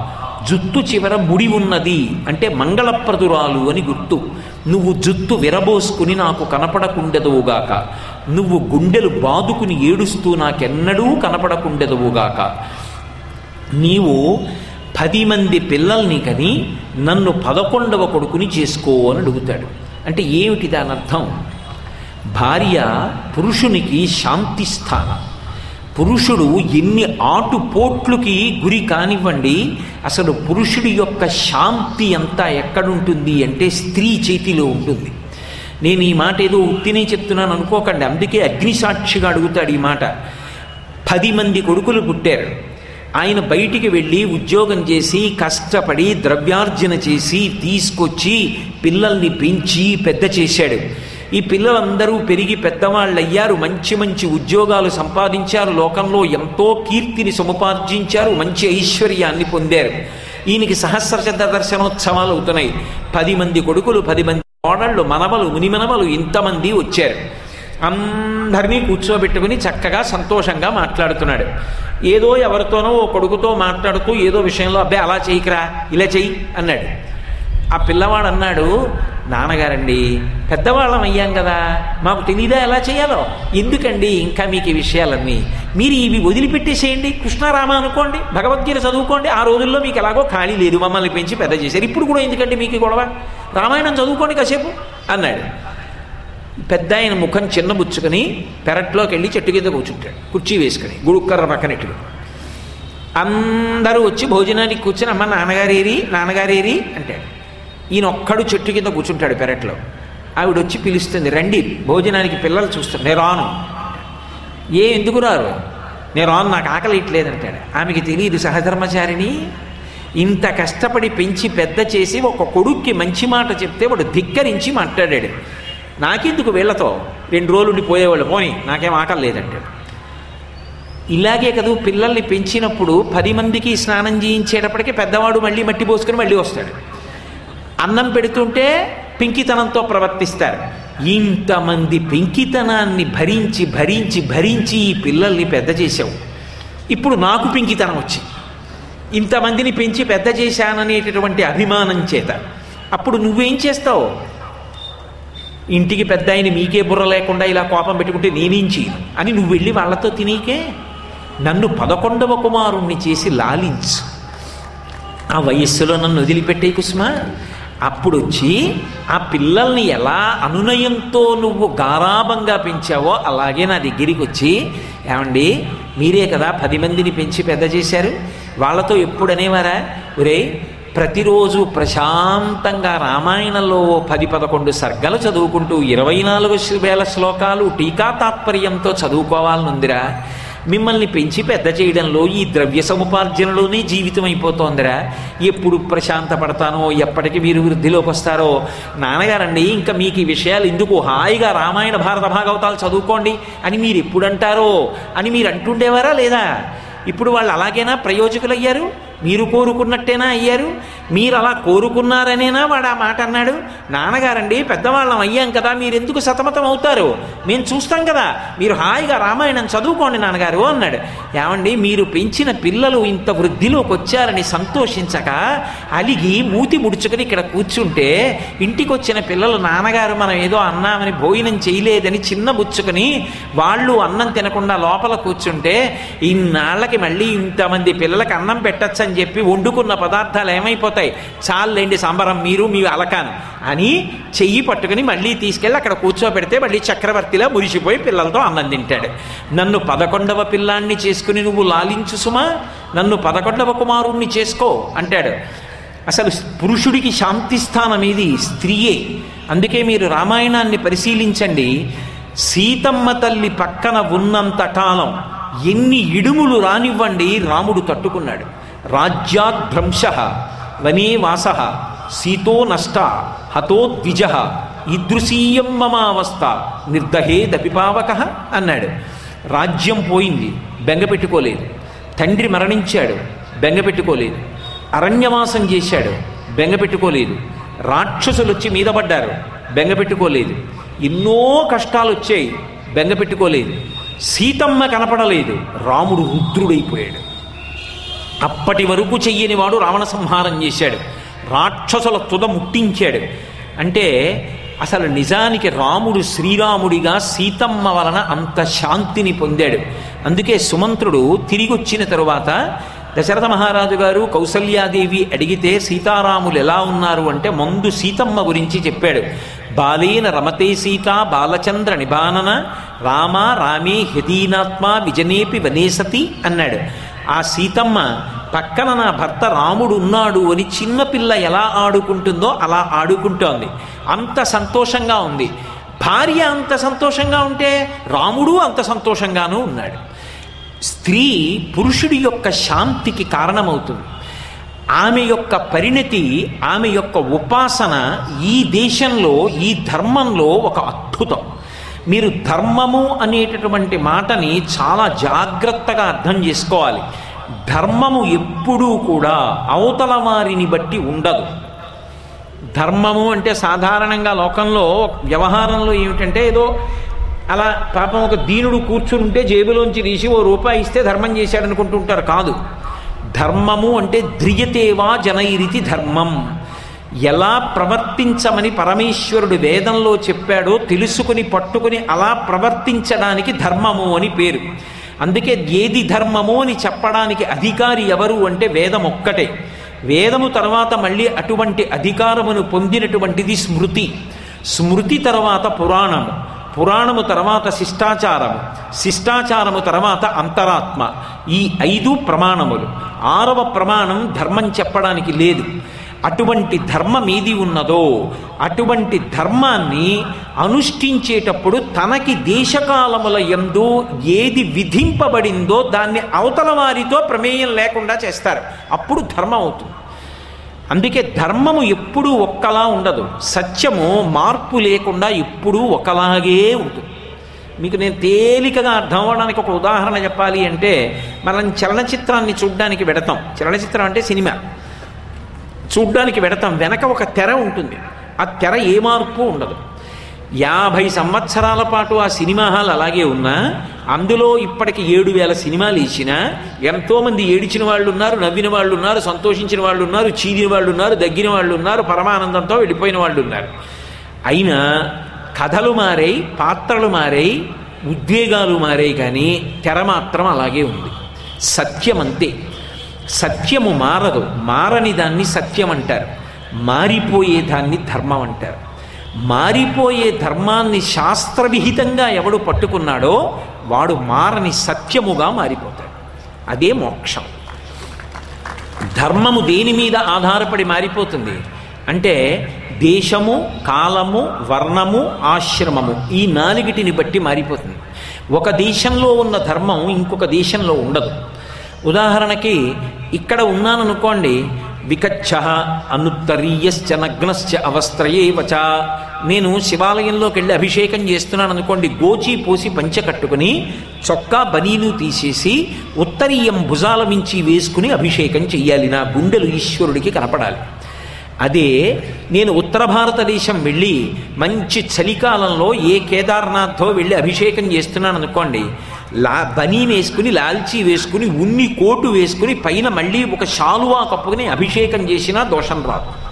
ఒక దేశమునందున్న ధర్మము ఇంకొక దేశమునందు ఉండదు నేను ఇంట్లో ఉంటే ఎంత పూజ చేస్తానో అందులో పదవ వంతు నేను పై ఊరు వచ్చినప్పుడు కూర్చుని చేస్తే చాలు. నేను ఎక్కడున్నానో అక్కడ పదవ వంతు చేస్తే చాలు. మీకు ఒక ఉదాహరణ చెప్పడానికి నేను ఇంట్లో పూజ చేసేటప్పుడు ఎన్నో ఉపచారాలు చెయ్యవచ్చు. అన్నీ బయట ఎలా కుదురుతాయి?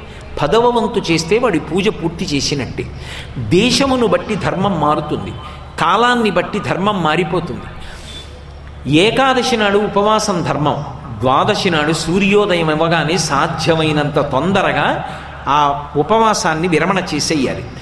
ద్వాదశి నాడు తినడం ధర్మం. ఏకాదశి నాడు ఉపవాసం ధర్మం. మారిపోయిందా లేదా కాలాన్ని బట్టి? అలాగే వర్ణమును బట్టి ధర్మం ఉంటుంది. ఇందాకనే మీకు చెప్పా యజ్ఞోపవీతం ఉన్నవాడికి సంధ్యావందనం ధర్మం. యజ్ఞోపవీతం లేనంత మాత్రం చేత తక్కువవాడు కాడు. సూర్య నమస్కారం చేసి సూర్యస్థుతి జరిగితే చాలు ఆయనకది ధర్మం.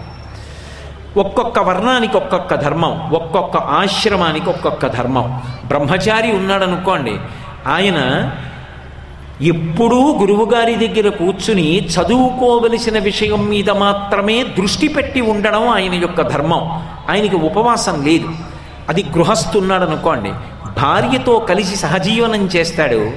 ఆయన భవిష్యత్ కాలంలో అవసరము అని చెప్పి ఎన్నో సంభారములను తీసుకొచ్చి ఇంట్లో దాచుకుంటాడు. ఓ ఇల్లు కట్టుకుంటాడు. ఇవన్నీ నిర్వహించడానికి ఆయనకి అధికారం ఉంది. బ్రహ్మచారి గృహస్థులా ఉండడు గృహస్థు బ్రహ్మచారిలా ఉండడు. బ్రహ్మచారి గృహస్థులా వానప్రస్థుండడు వానప్రస్థు భార్యని తీసుకుని అరణ్యానికి వెళ్ళి కుటీరం వేసుకుని తనలో తాను ఎప్పుడూ కూడా ఆత్మవిచారం చేస్తూ ఉంటాడు. పుణ్యకార్యాలు చేస్తూ ఎప్పుడూ భగవంతుణ్ణి చేరడానికి ప్రయత్నిస్తాడు. చిట్ట చివరిదైనటువంటి తురీయాశ్రమంలో ఇక దేనితోటి సంబంధం ఉండదు నకర్మణాన ప్రజయాధనీన త్యాగేనైకే అమృతత్వమానసు తన వలన ఏ భూతమునకు కూడా అపకారము కలగకూడదని ప్రతిజ్ఞ చేస్తాడు. రాగద్వేషాతీతుడై కేవలము ఆత్మవిచారం చేస్తూ తన యొక్క యథార్థ స్వరూపాన్ని తెలుసుకునే ప్రయత్నం చేస్తాడు. అగ్ని కార్యం చేయడం యజ్ఞం చేయడం యాగం చేయడం ఉండవు.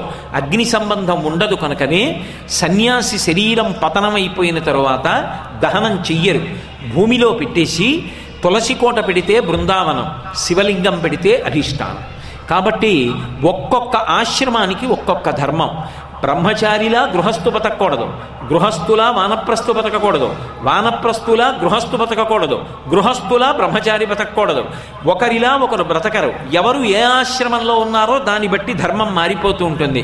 ఈ మారిపోతున్నటువంటి ధర్మాన్ని పట్టుకునేటప్పుడు అవతలవాడి వలన యువతలవాడి ధర్మం మారదు. బాగా గుర్తుపెట్టుకోండి.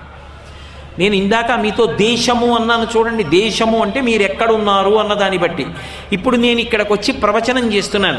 ప్రవచనం అంటే ప్రకృష్టవచనం. మీకు అర్థమయ్యేటట్టు మాట్లాడితే ప్రవచనం అంటారు. ప్రవచనం చేసేటప్పుడు నా బుద్ధికి తోచిన విషయాన్ని నేను ఎప్పుడూ చెప్పకూడదు. శాస్త్రం ఏం చెప్పిందో అది చెప్పాలి తప్ప అనవసరమైన విషయాన్ని కానీ నా బుద్ధికి తోచిన విషయాన్ని కానీ నేను ఇలా అనుకుంటున్నానని కానీ ఎప్పుడూ ప్రతిపాదన చెయ్యకూడదు. శాస్త్రం ఏం చెప్పిందో అదే మాట్లాడాలి. మీ దగ్గరికి వస్తే శాస్త్రం మాట్లాడాలి. నేను దిగి నాకు ఇచ్చిన విడిదికి వెళ్ళిపోయాను అనుకోండి నా భార్య ఎదురుగుండా నా పత్ని ఎదురుగుండా నిలబడితే నాది భర్తృధర్మం. ఒక భర్తగా ప్రవర్తించాలి. నా కూతురు ముందు నించున్నాను అనుకోండి పితృధర్మం. నా కొడుకు ముందు నించుంటే పితృధర్మం. నేను నా కార్యాలయానికి వెళ్ళాననుకోండి ఉద్యోగి ధర్మం. నేను ఈ పట్టణంలో నిలబడ్డాననుకోండి పౌరధర్మం. నేను ఎక్కడ నిలబడ్డాను ఎవరి ముందు నిలబడ్డానన్న దాన్ని బట్టి నా ధర్మం మారిపోతూ ఉంటుంది. ధర్మము నిరంతరము మారుతూ ఉంటుంది. మారుతున్న ధర్మం శాస్త్రవిహితంగా పట్టుకోవాలి. తప్ప అవతలవాడు అలా ఉన్నాడు కాబట్టి నేను ఇలా ఉంటాను అనకూడదు అప్పుడు ధర్మం కాదు. అందుకే ధర్మం ధర్మము కర్తవ్యతారూపంలో ఉంటుంది. అందుకే మీరు ఎప్పుడైనా మన ఆర్షవాంగ్మయం పరిశీలించండి. బాధ్యత అన్న మాట మీకు కనపడదు. కర్తవ్యం. అందుకే రాముణ్ణి విశ్వామిత్రుడి నిద్ర లేపితే కౌసల్యా సుప్రజారామపూర్వ పూర్వా సంధ్యా ప్రవర్తతే ఉత్తిష్ట నరశార్దూల కర్తవ్యం దైవమాన్వికం. కర్తవ్యం అంటే ఏమిటో తెలుసా? సూర్యోదయం అవుతోంది. అంతకన్నా ముందు అర్ఘ్యం ఇవ్వాలి. విశ్వామిత్రుడు లేచాడు స్నానం చేశాడు అర్ఘ్యం ఇచ్చేశాడు. రామలక్ష్మణులు ఇద్దరూ నిద్రపోతున్నారు. నిద్ర లేపేటప్పుడు భగవత్ సంబంధం చెప్పి నిద్ర లేపాలి తప్ప ఇంకొకలా నిద్ర లేపకూడదు. అందుకు చెప్తున్నాడు పూర్వాసంధ్యా ప్రవర్తతే. అదిగో సూర్యోదయం అవుతోంది. రామ లక్ష్మణ లేచి సంధ్యావందనం చేయండి. కర్తవ్యం దైవమాన్హికం అది నువ్వు చెయ్యవలసింది. నేను చెప్పవలసింది. అక్కడతో నా కర్తవ్యం పూర్తయింది. ఒకవేళ రాముడు నిద్ర లేవలేదనుకోండి ఇంకొక మాట చెప్తాడు విశ్వామిత్రుడు. అంతే తప్ప రాముడు చెయ్యలేదని విశ్వామిత్రుడు గుండెలు బాదుకోడు. మీరు బాగా గుర్తుపెట్టుకోవాలి. తను చేసుకుంటూ వెళ్ళిపోతాడు. చెయ్యమనే చెప్తాడు రాముడికి. ఒకవేళ రాముడు ఇప్పటికీ చేయలేదనుకోండి విశ్వామిత్రుడు కించిత్ బాధపడడు. రాముడు చేశాడనుకోండి విశ్వామిత్రుడు పొంగిపోడు. తను చేయవలసింది చేశాడా? తను చెప్పవలసింది చెప్పాడా? అక్కడ వరకే. ఒక మాట చెప్తే వినలేదు ఇంకో మాట చెప్తాడు. ఇంకో మాట చెప్తాడు. జీవితాంతం చెప్తాడు. చెప్పినందువల్ల మారారని పొంగిపోడు చెప్పినందువల్ల మారలేదని కుంగిపోడు. తాను చెయ్యవలసింది చేస్తూ వెళ్ళిపోతాడు. దాన్ని కర్తవ్యం అంటారు. ధర్మము కర్తవ్య రూపంలో ఉంటుంది. ఇతరులను బట్టి కర్తవ్యం ఉండదు. మా నాన్నగారికి తమ్ముడంటే ఎక్కువ ఇష్టం అండి. నేనంటే ఇష్టం ఉండదండి. ఇంక నేను మా నాన్నగారికి ఎందుకండి కాళ్ళు పట్టడం? ఎందుకండి మా నాన్నగారిని మా ఇంటికి తీసుకురావడం? ఎందుకండి మా నాన్నగారిని గుడికి యాత్రలకి తీసుకెళ్ళడం? ఒకవేళ తీసుకెళ్ళినా అస్తమానం మా తమ్ముడినే పొగుడుతారండి ఆయన. ఇంకెందుకండి నాకు ఆయనతో? నీ తండ్రి ఎలా ప్రవర్తించాడన్నది చూసి నీ పుత్రధర్మాన్ని నువ్వు మార్చుకోకూడదు. ఆయన తండ్రి అంతే. నువ్వు నీ ధర్మాన్ని పాటించాలి. మా గురువుగారండి మీ గురువుగారిలా కాదండి. అనకూడదు. ఆయన గురువు నువ్వు శిష్యుడిగా ధర్మాన్ని పాటించాలి. ధర్మము ఎప్పుడూ కూడా అవతల వారిని బట్టి ఉండదు. చేసేవాడిని బట్టి ఉంటుంది. నేను చెయ్యాలి కాబట్టి చేస్తానంతే. ఇవాళ ఇంతమంది వచ్చారని ప్రవచనం ఒకలా ఒక్కడే వస్తే ఒకలా నీ చెప్పకూడదు. నేను ప్రవచనం చేసేటప్పుడు ప్రవచనం అంతే. అది నా కర్తవ్యం. ఎంతమంది వింటున్నారంటే చెప్తే వాడు అసలు ప్రవచనం చేయడానికి పనికిరాడు. ఎంతమంది వింటున్నారు అన్నదాన్ని బట్టి చెప్పవలసి వస్తే ఆదిత్య హృదయం ఒక్క రాముడికి అగస్త్యుడు చెప్పకూడదు. భగవద్గీత అర్జునుడికి ఒక్కడికి కృష్ణుడు చెప్పకూడదు.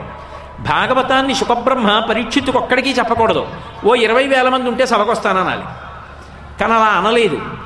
తన కర్తవ్యం తాను నిర్వహించాలి. ఇప్పుడు మీరు బాగా పట్టుకోండి. ధర్మ నిర్వహణ ఎందు అవతల వారిని బట్టి ఉండదు. తనని బట్టి ఉంటుంది. నేను నా ధర్మం చేసుకెళ్ళిపోతానంతే. ఇందులో ఈ దేశంలో ఒక అద్భుతం ఉన్నది మామూలుగా సామాన్య ధర్మాలు విశేష ధర్మాలు ఉంటాయి. ఈ దేశానికి ఉన్న గొప్పతనం ఏమిటంటే పతివ్రతా ధర్మం అని ఒక ధర్మం ఉంది. ఆ ధర్మము చేత స్త్రీలు పతివ్రతలై ఏ స్థితికి వెళ్ళారంటే ఏ పురుషుడికి అందనంత స్థాయికి పైకెక్కిపోయారు. మీరు ఆ కోణంలో ఆలోచించినప్పుడు నిజంగా వాళ్ళు పొందినటువంటి స్థాయి ఏ పురుషుడు అందుకోలేకపోయాడు. అంత పైకి ఎక్కిపోయారు వాళ్ళు. పతివ్రతా ధర్మము అన్న మాటకు అర్థం ఏంటంటే పతి యొక్క గుణ విశేషంతో కానీ ఆయన యొక్క లోటుపాట్లతో కానీ ఆమెకు సంబంధం ఉండదు. ఆమె భర్తని పరదైవంగా భావించి తన ధర్మాన్ని తాను నిర్వర్తించుకుంటూ వెళ్ళిపోతుందంతే. నేను ఇందాక మీతో మనవి చేశానే నా కర్తవ్యం నేను చేస్తున్నానా లేదా? అంతవరకే. అందులో రాగద్వేషాలు ఉండవు అవతల వారిని బట్టి అన్న మాట ఉండదు ఇంకా. మా నాన్నగారు అలాంటి ఆ మాట లేదు. మా గురువు అలాంటి మాట లేదు. మా ఆవిడ ఇలా అటువంటి మాట లేదు. మా అన్నగారు అలాంటి వాడు ఆ మాట లేదు. నేను తమ్ముణ్ణి అన్నయ్యకి నమస్కారం చేస్తా. మా పొలంలో పండింది అన్నయ్యకి పట్టుకెళ్ళి ఇస్తా. మా వదిన నన్ను చూసేటప్పటికి ఇలా మొహం ముడుచుకుంటుంది. అనవసరం. మా వదిన నన్ను చీత్కరించి వెళ్ళిపోతే మా వదిన నడిచిన చోట నమస్కారం చేసి వెళ్ళిపోతాను నా ధర్మం నేను చేసేస్తానంతే.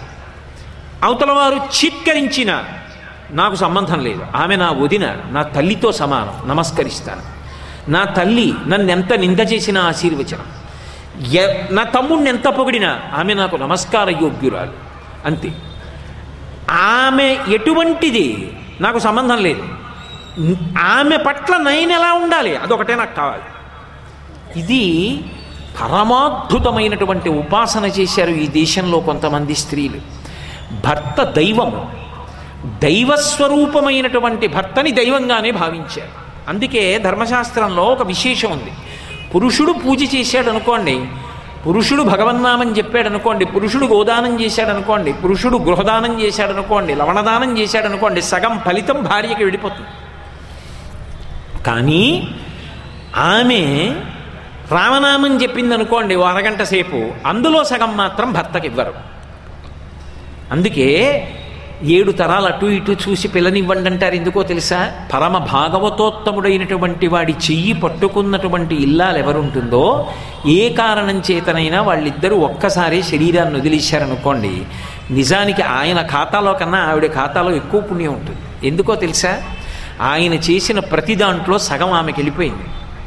కానీ ఆమె ఆయనకు వంట చేసి పెడుతూ రామ రామనామం చెప్పుకుంది. నీకన్నీ చేస్తూ రామనామం చెప్పుకుంది. నీకెందుకు ఆ ఫలితం? ఇవ్వరు. ఆమె ఖాతాలోనే వేస్తారు. ఆమెకు అధికం. ధర్మం అంతే పతివ్రత అన్న మాటకు అర్థం ఏంటంటే పతినే దైవంగా భావన చేస్తారు. ఆయనకి చేసిన సేవ ఈశ్వరుడికి చేసిన సేవ. ఆయనకి వండి పెట్టిన పలహారం బాలభోగం. ఆయనకి వండి పెట్టినటువంటి అన్నం మహానైవేద్యం. ఆయనకి కాళ్ళు పట్టడం పరమేశ్వరుడి కాళ్ళు పట్టడం. ఆయనకి పాట పాడడం ఈశ్వరుడి ఏకాంత సేవలో కీర్తన చేయడం. కొందరు మహాతల్లులు అలా భావన చేశారు. అలా అందరూ చెయ్యాలా చెయ్యక్కర్లేదా అన్న అనేటటువంటి దాన్ని చర్చ చేసి మాట్లాడడానికి నేను సిద్ధంగా లేను. కానీ ఈ దేశ వైభవం గురించి చెప్పడం నా హక్కు. అందుకని ప్రస్తావన చేస్తున్నాను. అలా ఉపాసన చేసినటువంటి పతివ్రతామ తల్లులు పరమాద్భుతమైన స్థాయిని చేరిపోయారు. వాళ్ళు పొందిన శక్తి అంతా ఇంతా కాదు. మీకు ఉదాహరణ చెప్పవలసి వస్తే శ్రీరామాయణంలో అనసూయమ్మ కనపడుతుంది. ఆమెని పరిచయం చేశాడు అత్రి మహర్షి. రామచంద్రమూర్తికి సీతమ్మకి లక్ష్మణస్వామికి పరిచయం చేశాడు. వెళ్ళగానే ముందు అత్రి కనపడ్డాడు. అనసూయమ్మ కనపడలేదు. కనపడకపోతే ఆయన అన్నాడు ఓ రామ నా భార్య అనసూయ పరమ ప్రఖ్యాతి వహించింది. ఆమె మహాపతివ్రత ఆమె అనన్యమైనటువంటి తపస్సు చేసింది. ఎంత గొప్ప తపస్సు చేసిందో తెలుసా? పది సంవత్సరముల పాటు ఈ భూమి పంట పండకపోతే తన తపశ్శక్తి చేత మూలములను సృష్టించి ఆమె జనులను పోషించింది. ఆమె సూర్యచంద్రుల యొక్క గమనాన్ని ఆపేసింది ఒకప్పుడు. వేరొక సాటి పతివ్రత సుమతి కోసం. అందుకే మీరు చూడండి కొన్ని కొన్ని కథలు చదువుతున్నప్పుడు విచిత్రంగా ఉంటాయి. ఈమె ఆయన అంత సేవిస్తుంది కుష్ఠరోగి. ఆయన ఇంత ఈవిడితో సేవ చేయించుకుని ఒక వేశ్య పొందు కావాలన్నాడు. ఈవిడ బుట్టలో పట్టుకెడుతుంది వినడానికి అసహ్యంగా లేదు. ఆయన దుర్మార్గుడు కావచ్చు. ఆమె నాకు దైవమని ఉపాసన చేసి ఆమె ధర్మం ఆమె నెరవేర్చిందంటే ఆయన ఏమైపోయాడు? మనకు అనవసరం. ఆమె మాత్రం మహాతల్లిగా నిలబడిపోయింది. అది ఈ దేశం యొక్క వైభవం. ఈ దేశంలో ఆ స్థాయిని పొందారు. అందుకని అనసూయమ్మ గురించి చెప్తాడు అత్రి. చెప్తూ ఒక మాట అన్నాడు. ఈమె యొక్క గొప్పతనం ఏమిటో తెలుసా? ఈమె చాలా విశేషాన్ని పొందింది. ఈమె వృద్ధాం మహావృద్ధురాలు. అరటి చెట్టు గాలికి ఎలా ఊగిపోతుందో అలా ఊగిపోతోంది ఇప్పుడు. మనిషి నిలబడలేదు. కానీ అక్రోధనాం సదా ఆమె ఎన్నడూ క్రోధాన్ని పొందదు. అసలు ఆమె జీవితంలో ఆమె కోపమును పొందుట అన్న మాట లేదు. సాధ్యమా?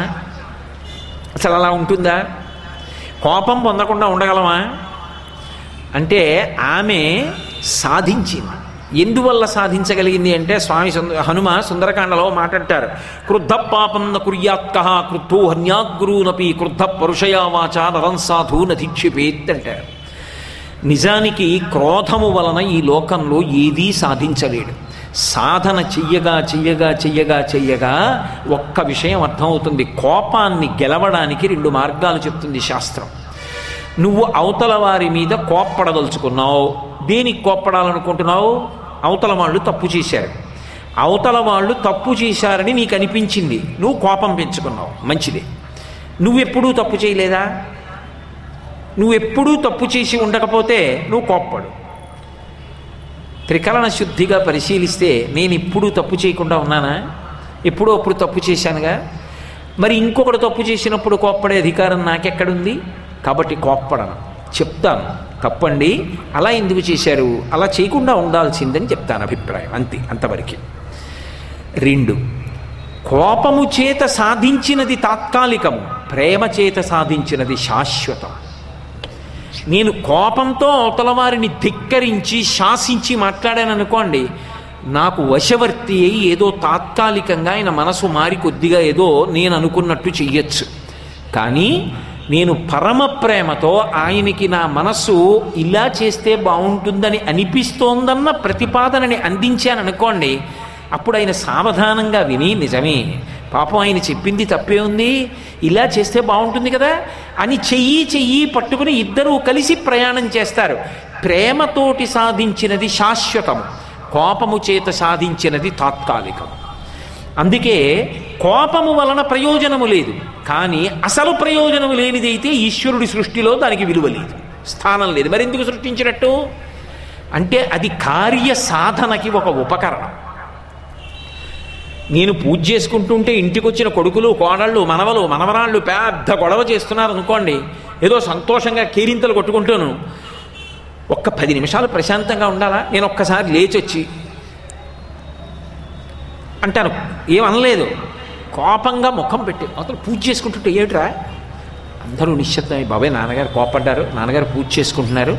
ఆయన వచ్చేసే వరకు ఏమనకండి.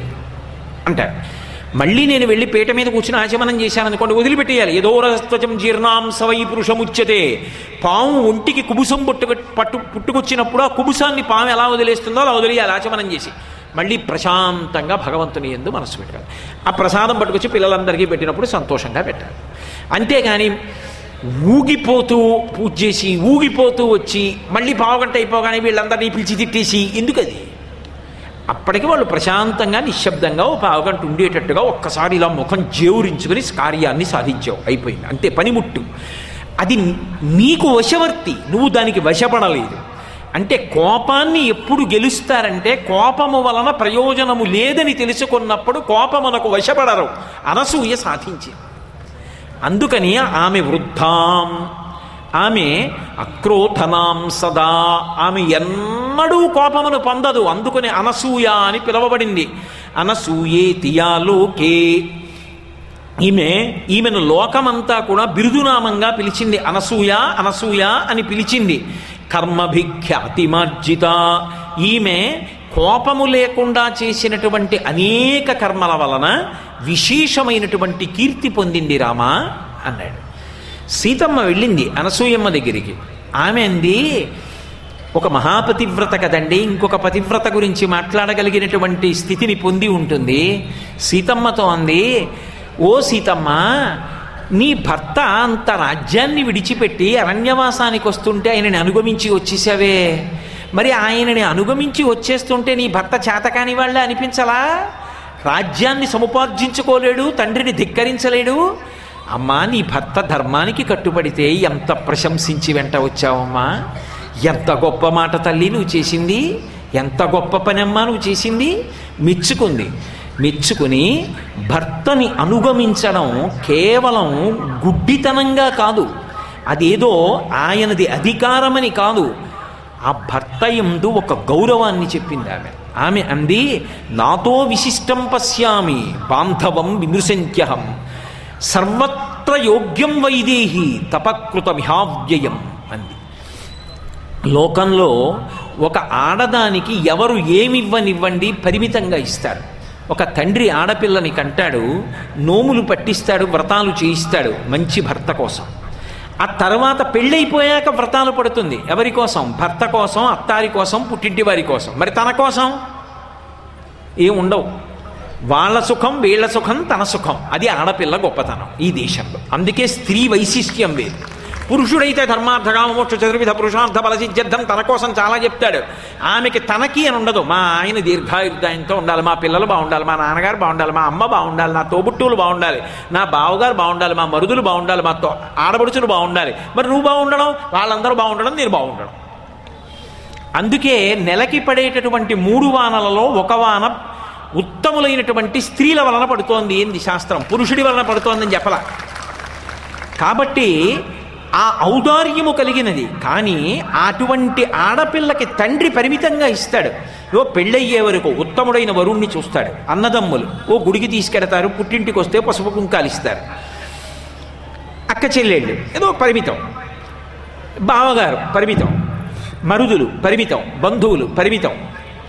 ఇంత అని చెప్పడానికి వీలు లేనంత అపరిమితమైన దాన్ని ఇచ్చేవాడెవడంటే భర్త ఒక్కడే. ఎందుచేతనో తెలుసా? శాస్త్రంలో ఒక మర్యాద ఉంది నేను ఎంత ఐశ్వర్యవంతుణ్ణి కానివ్వండి నా భార్య చేతిని నేను గ్రహించగానే పాణిగ్రహణం చెయ్యగానే ఆమె నా పత్ని కాగానే నా ఐశ్వర్యం ఏదున్నదో అదంతా ఆమెది. నిజానికి నా ఆయుర్దాయం కూడా ఆమె వలననే నిర్ణయింపబడుతుంది. ఆమె సౌశీల్యము వలన నా ఆయుర్దాయం నిలబడుతుంది. అందుకే మమ జీవన హేతునా అని చెప్పి మంగళసూత్రం మెడలో కడుతున్నాడు. అందుకే మీరు చూడండి ఈ జాతిలో స్త్రీ వైశిష్ట్యం ఏమిటంటే కొంతమంది ధూర్తులైన పురుషులు ఉంటారు రాత్రి మాదక ద్రవ్యం సేవించి ఉన్మత్తత కలిగించే పదార్థాన్ని సేవించి వచ్చి పశువుని కొట్టినట్టు భార్యని కొట్టేటటువంటి ధూర్తులైనటువంటి పురుషులు ఉంటారు అలా కొట్టి నిద్రపోతే ఆమె మాత్రం నిద్రలేచి మంగళసూత్రాలు కళ్ళకద్దుకొని ఆఖరణ ఆయన చేతిలో ప్రాణ వదలాలని కోరుకుంటుంది. అంతకన్నా ఆర్ద్రత కలిగినటువంటి మనసున్న ప్రాణి ఈ సృష్టిలో ఇంకొకరు ఉంటారా? అటువంటి స్త్రీ మీద చెయ్యి చేసుకున్న పురుషుడు ఎంతటి అధమాధముడవుతాడు? అది నేర్చుకోవలసిన విధానం అది స్త్రీల యొక్క గొప్పతనం. అది తెలుసుకున్న నాడు సమాజంలో శాంతి పరిఢవిల్లుతుంది ఎందుకు గౌరవించాలో తెలుస్తుంది. అందుకంటోంది అనసూయమ్మ నాతో విశిష్టం పశ్యామి బాంధవం విమృశంచహం అమ్మ భర్త తాను చేసిన పుణ్యంలో సగం భార్యకి ఇస్తున్నాడు. ఆయన ఐశ్వర్యమంతా ఆమెదే. ఆయన ఆయుర్దాయమునకు నేను కర్త. విశేషించి నేను లేని నాడు ఆయనకి ధర్మం లేదు. నేను తల్లినై అమ్మాని పిలిపించుకొని అపారమైన ఆనందాన్ని పొందానంటే ధార్మికమైన సంతానాన్ని ఆయన వలన పొందాను కాబట్టి. పసుపు కుంకాలు ఉన్నదాన్ని అని ముప్పై రూపాయలు చీర కట్టుకున్నా ఎదురొచ్చేటప్పటికి సువాసిని అని గౌరవించి విడుతున్నారంటే ఆయన ఉండబట్టి. లోకంలో ఇంకా ఎవరి వలన ఇన్ని సంభవించమమ్మా ఒక్క భర్త వలన సంభవిస్తాయి. అందుకే కులకాంతలు ఉత్తములైనటువంటి స్త్రీలు భర్త గౌరవించి ప్రవర్తిస్తారమ్మా. శాస్త్రం ఎరిగిన వారు కనుక అన్నది అనసూయమ్మ. అటువంటి మహాపతివ్రతలైనటువంటి స్త్రీలు అనితర సాధ్యమైనటువంటి విషయములను సాధించడం మీకు ఈ భూమి మీద ఎక్కడా కనపడదు. భారతదేశంలోనే సంభవం. ఒక్కొక్క మహాపతివ్రత సూర్యోదయ సూర్యాస్తమయాల్ని శాసించింది. రేపు తెల్లవారితే నీ భర్త మరణిస్తాడంటే సుమతి సూర్యోదయమగు అవకుండుగాక అంది. ధర్మచక్రం నిలబడిపోయిందంతే. అది ఎన్ని యజ్ఞయాగాది క్రతువులు చేసినా పురుషులు సాధించగలరో సాధించలేరో కానీ పతివ్రతా ధర్మం చేత స్త్రీ సాధించింది. అది ఈ జాతి గొప్పతనం. అటువంటి చరిత్ర కలిగినటువంటి స్త్రీలు ఈ ఒక్క దేశంలోనే కనపడతారు. అందుకే ఈ దేశంలో స్త్రీ అనేటప్పటికీ యావత్ ప్రపంచంలో ఉన్నటువంటి జనులు రెండు చేతులెత్తి నమస్కరిస్తారు ఆ జాతి అంత గొప్పది. ఆ దేశంలో ఉన్న స్త్రీల యొక్క వైశిష్ట్యం అంత గొప్పది. కాబట్టి నాతో విశిష్టం పశ్యామి. ఒక్క అనసూయమ్మే కాదు. నిజంగా ఈ లోకంలో పురాణాల్ని కావ్యాల్ని పరిశీలిస్తే ఎంత గొప్ప గొప్ప గుణములు కలిగినటువంటి స్త్రీలు కనపడతారో వాళ్ళతో పోలిస్తే నిజంగా ఇంత ఔదార్యం ఇంత గొప్ప స్థితిని పురుషుడు పొందాడా అని అనిపిస్తుంది. మీరు మహాభారతంలో గాంధారినే చూడండి. ఆమె గాంధారరాజు యొక్క కుమార్తె. సుబలుని యొక్క కుమార్తె గాంధారరాజు కుమార్తె కనుక ఆమెకి గాంధారి అని పేరొచ్చింది. ఆమె మహాసౌందర్య రాశి. చిన్నతనంలో పరమశివుని గురించి తపస్సు చేసి పరమశివుడి యొక్క అనుగ్రహాన్ని పొందింది. ఆమెకి సంతానాపేక్ష. ఎక్కువ మంది సంతానానికి తల్లి కావాలి అని వరం పొందింది. అపారమైన అందగత్తె. మహారాజు యొక్క కుమార్తె. సకల సుగుణములకు పిన్నిధి.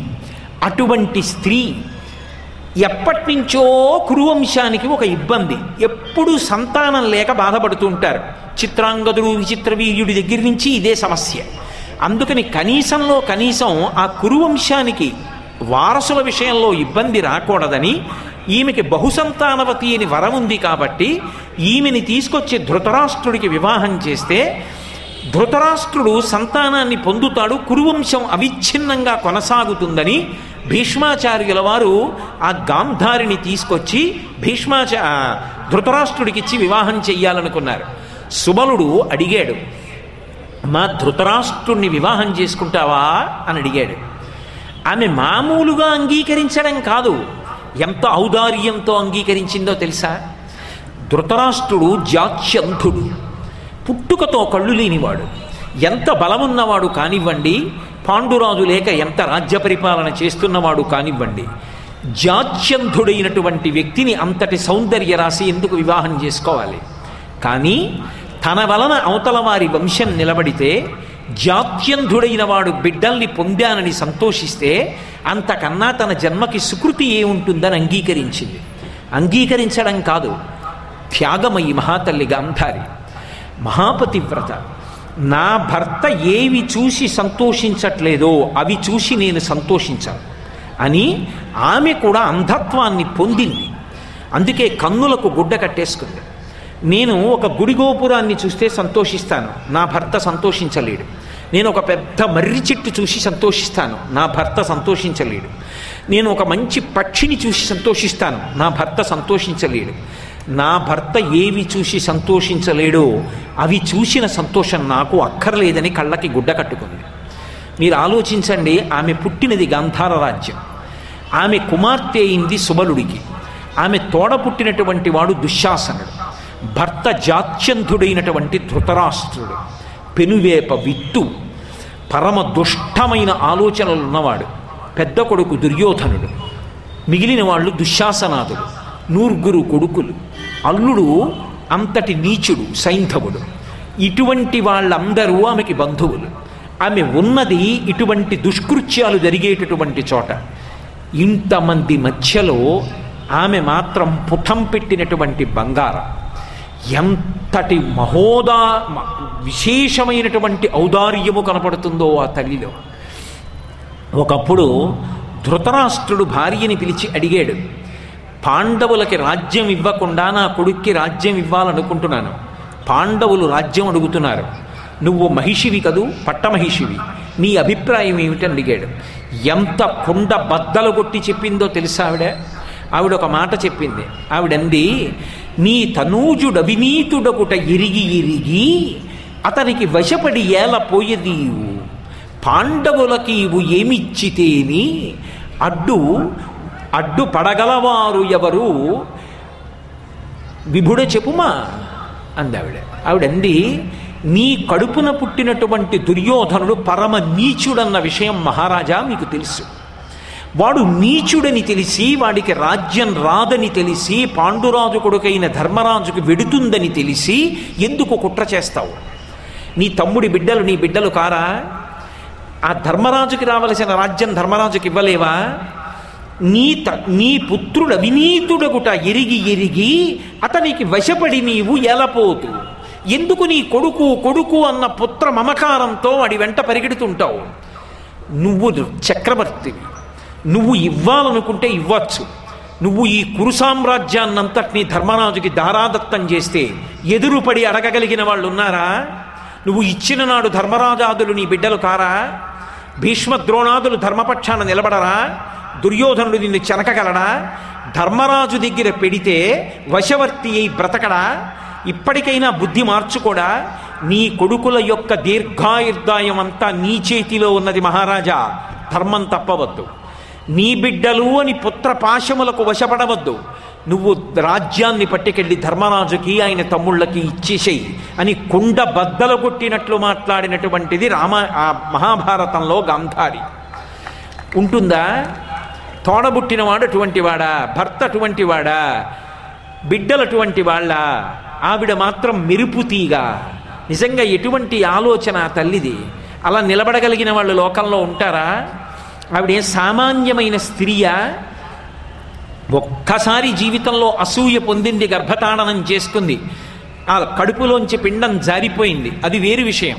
కానీ ఆమె యొక్క ఉదాత్త చరిత్ర పరిశీలిస్తే ఆశ్చర్యకరంగా ఉంటుంది. నూర్గురు కొడుకులు కడుపున పుట్టిన వాళ్ళు చచ్చిపోయినప్పటికీ కూడా అమ్మా అని వచ్చి ధర్మరాజు ఆమె కాళ్ళ దగ్గర నిలబడి ఒక్క మాట అన్నాడు చిట్ట చివర కురుక్షేత్రం అయిపోయిన తర్వాత. అమ్మా నీ బిడ్డలందరినీ చంపేసిన పాపిష్టివాణ్ణి నేనేనమ్మా నన్ను నీ శాపంతో కాల్చేయమ్మా అన్నాడు. ఆయన కూడా కొడుకేగా?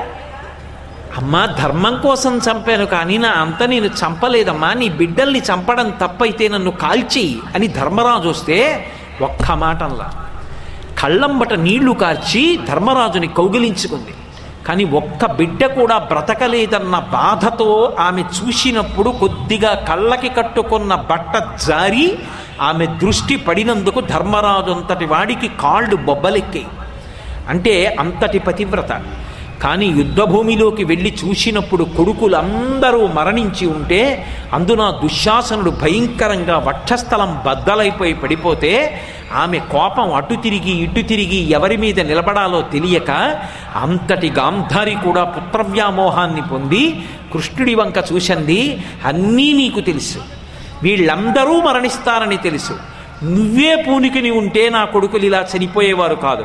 దీనికి అంతటికీ కారణం కృష్ణ నువ్వే.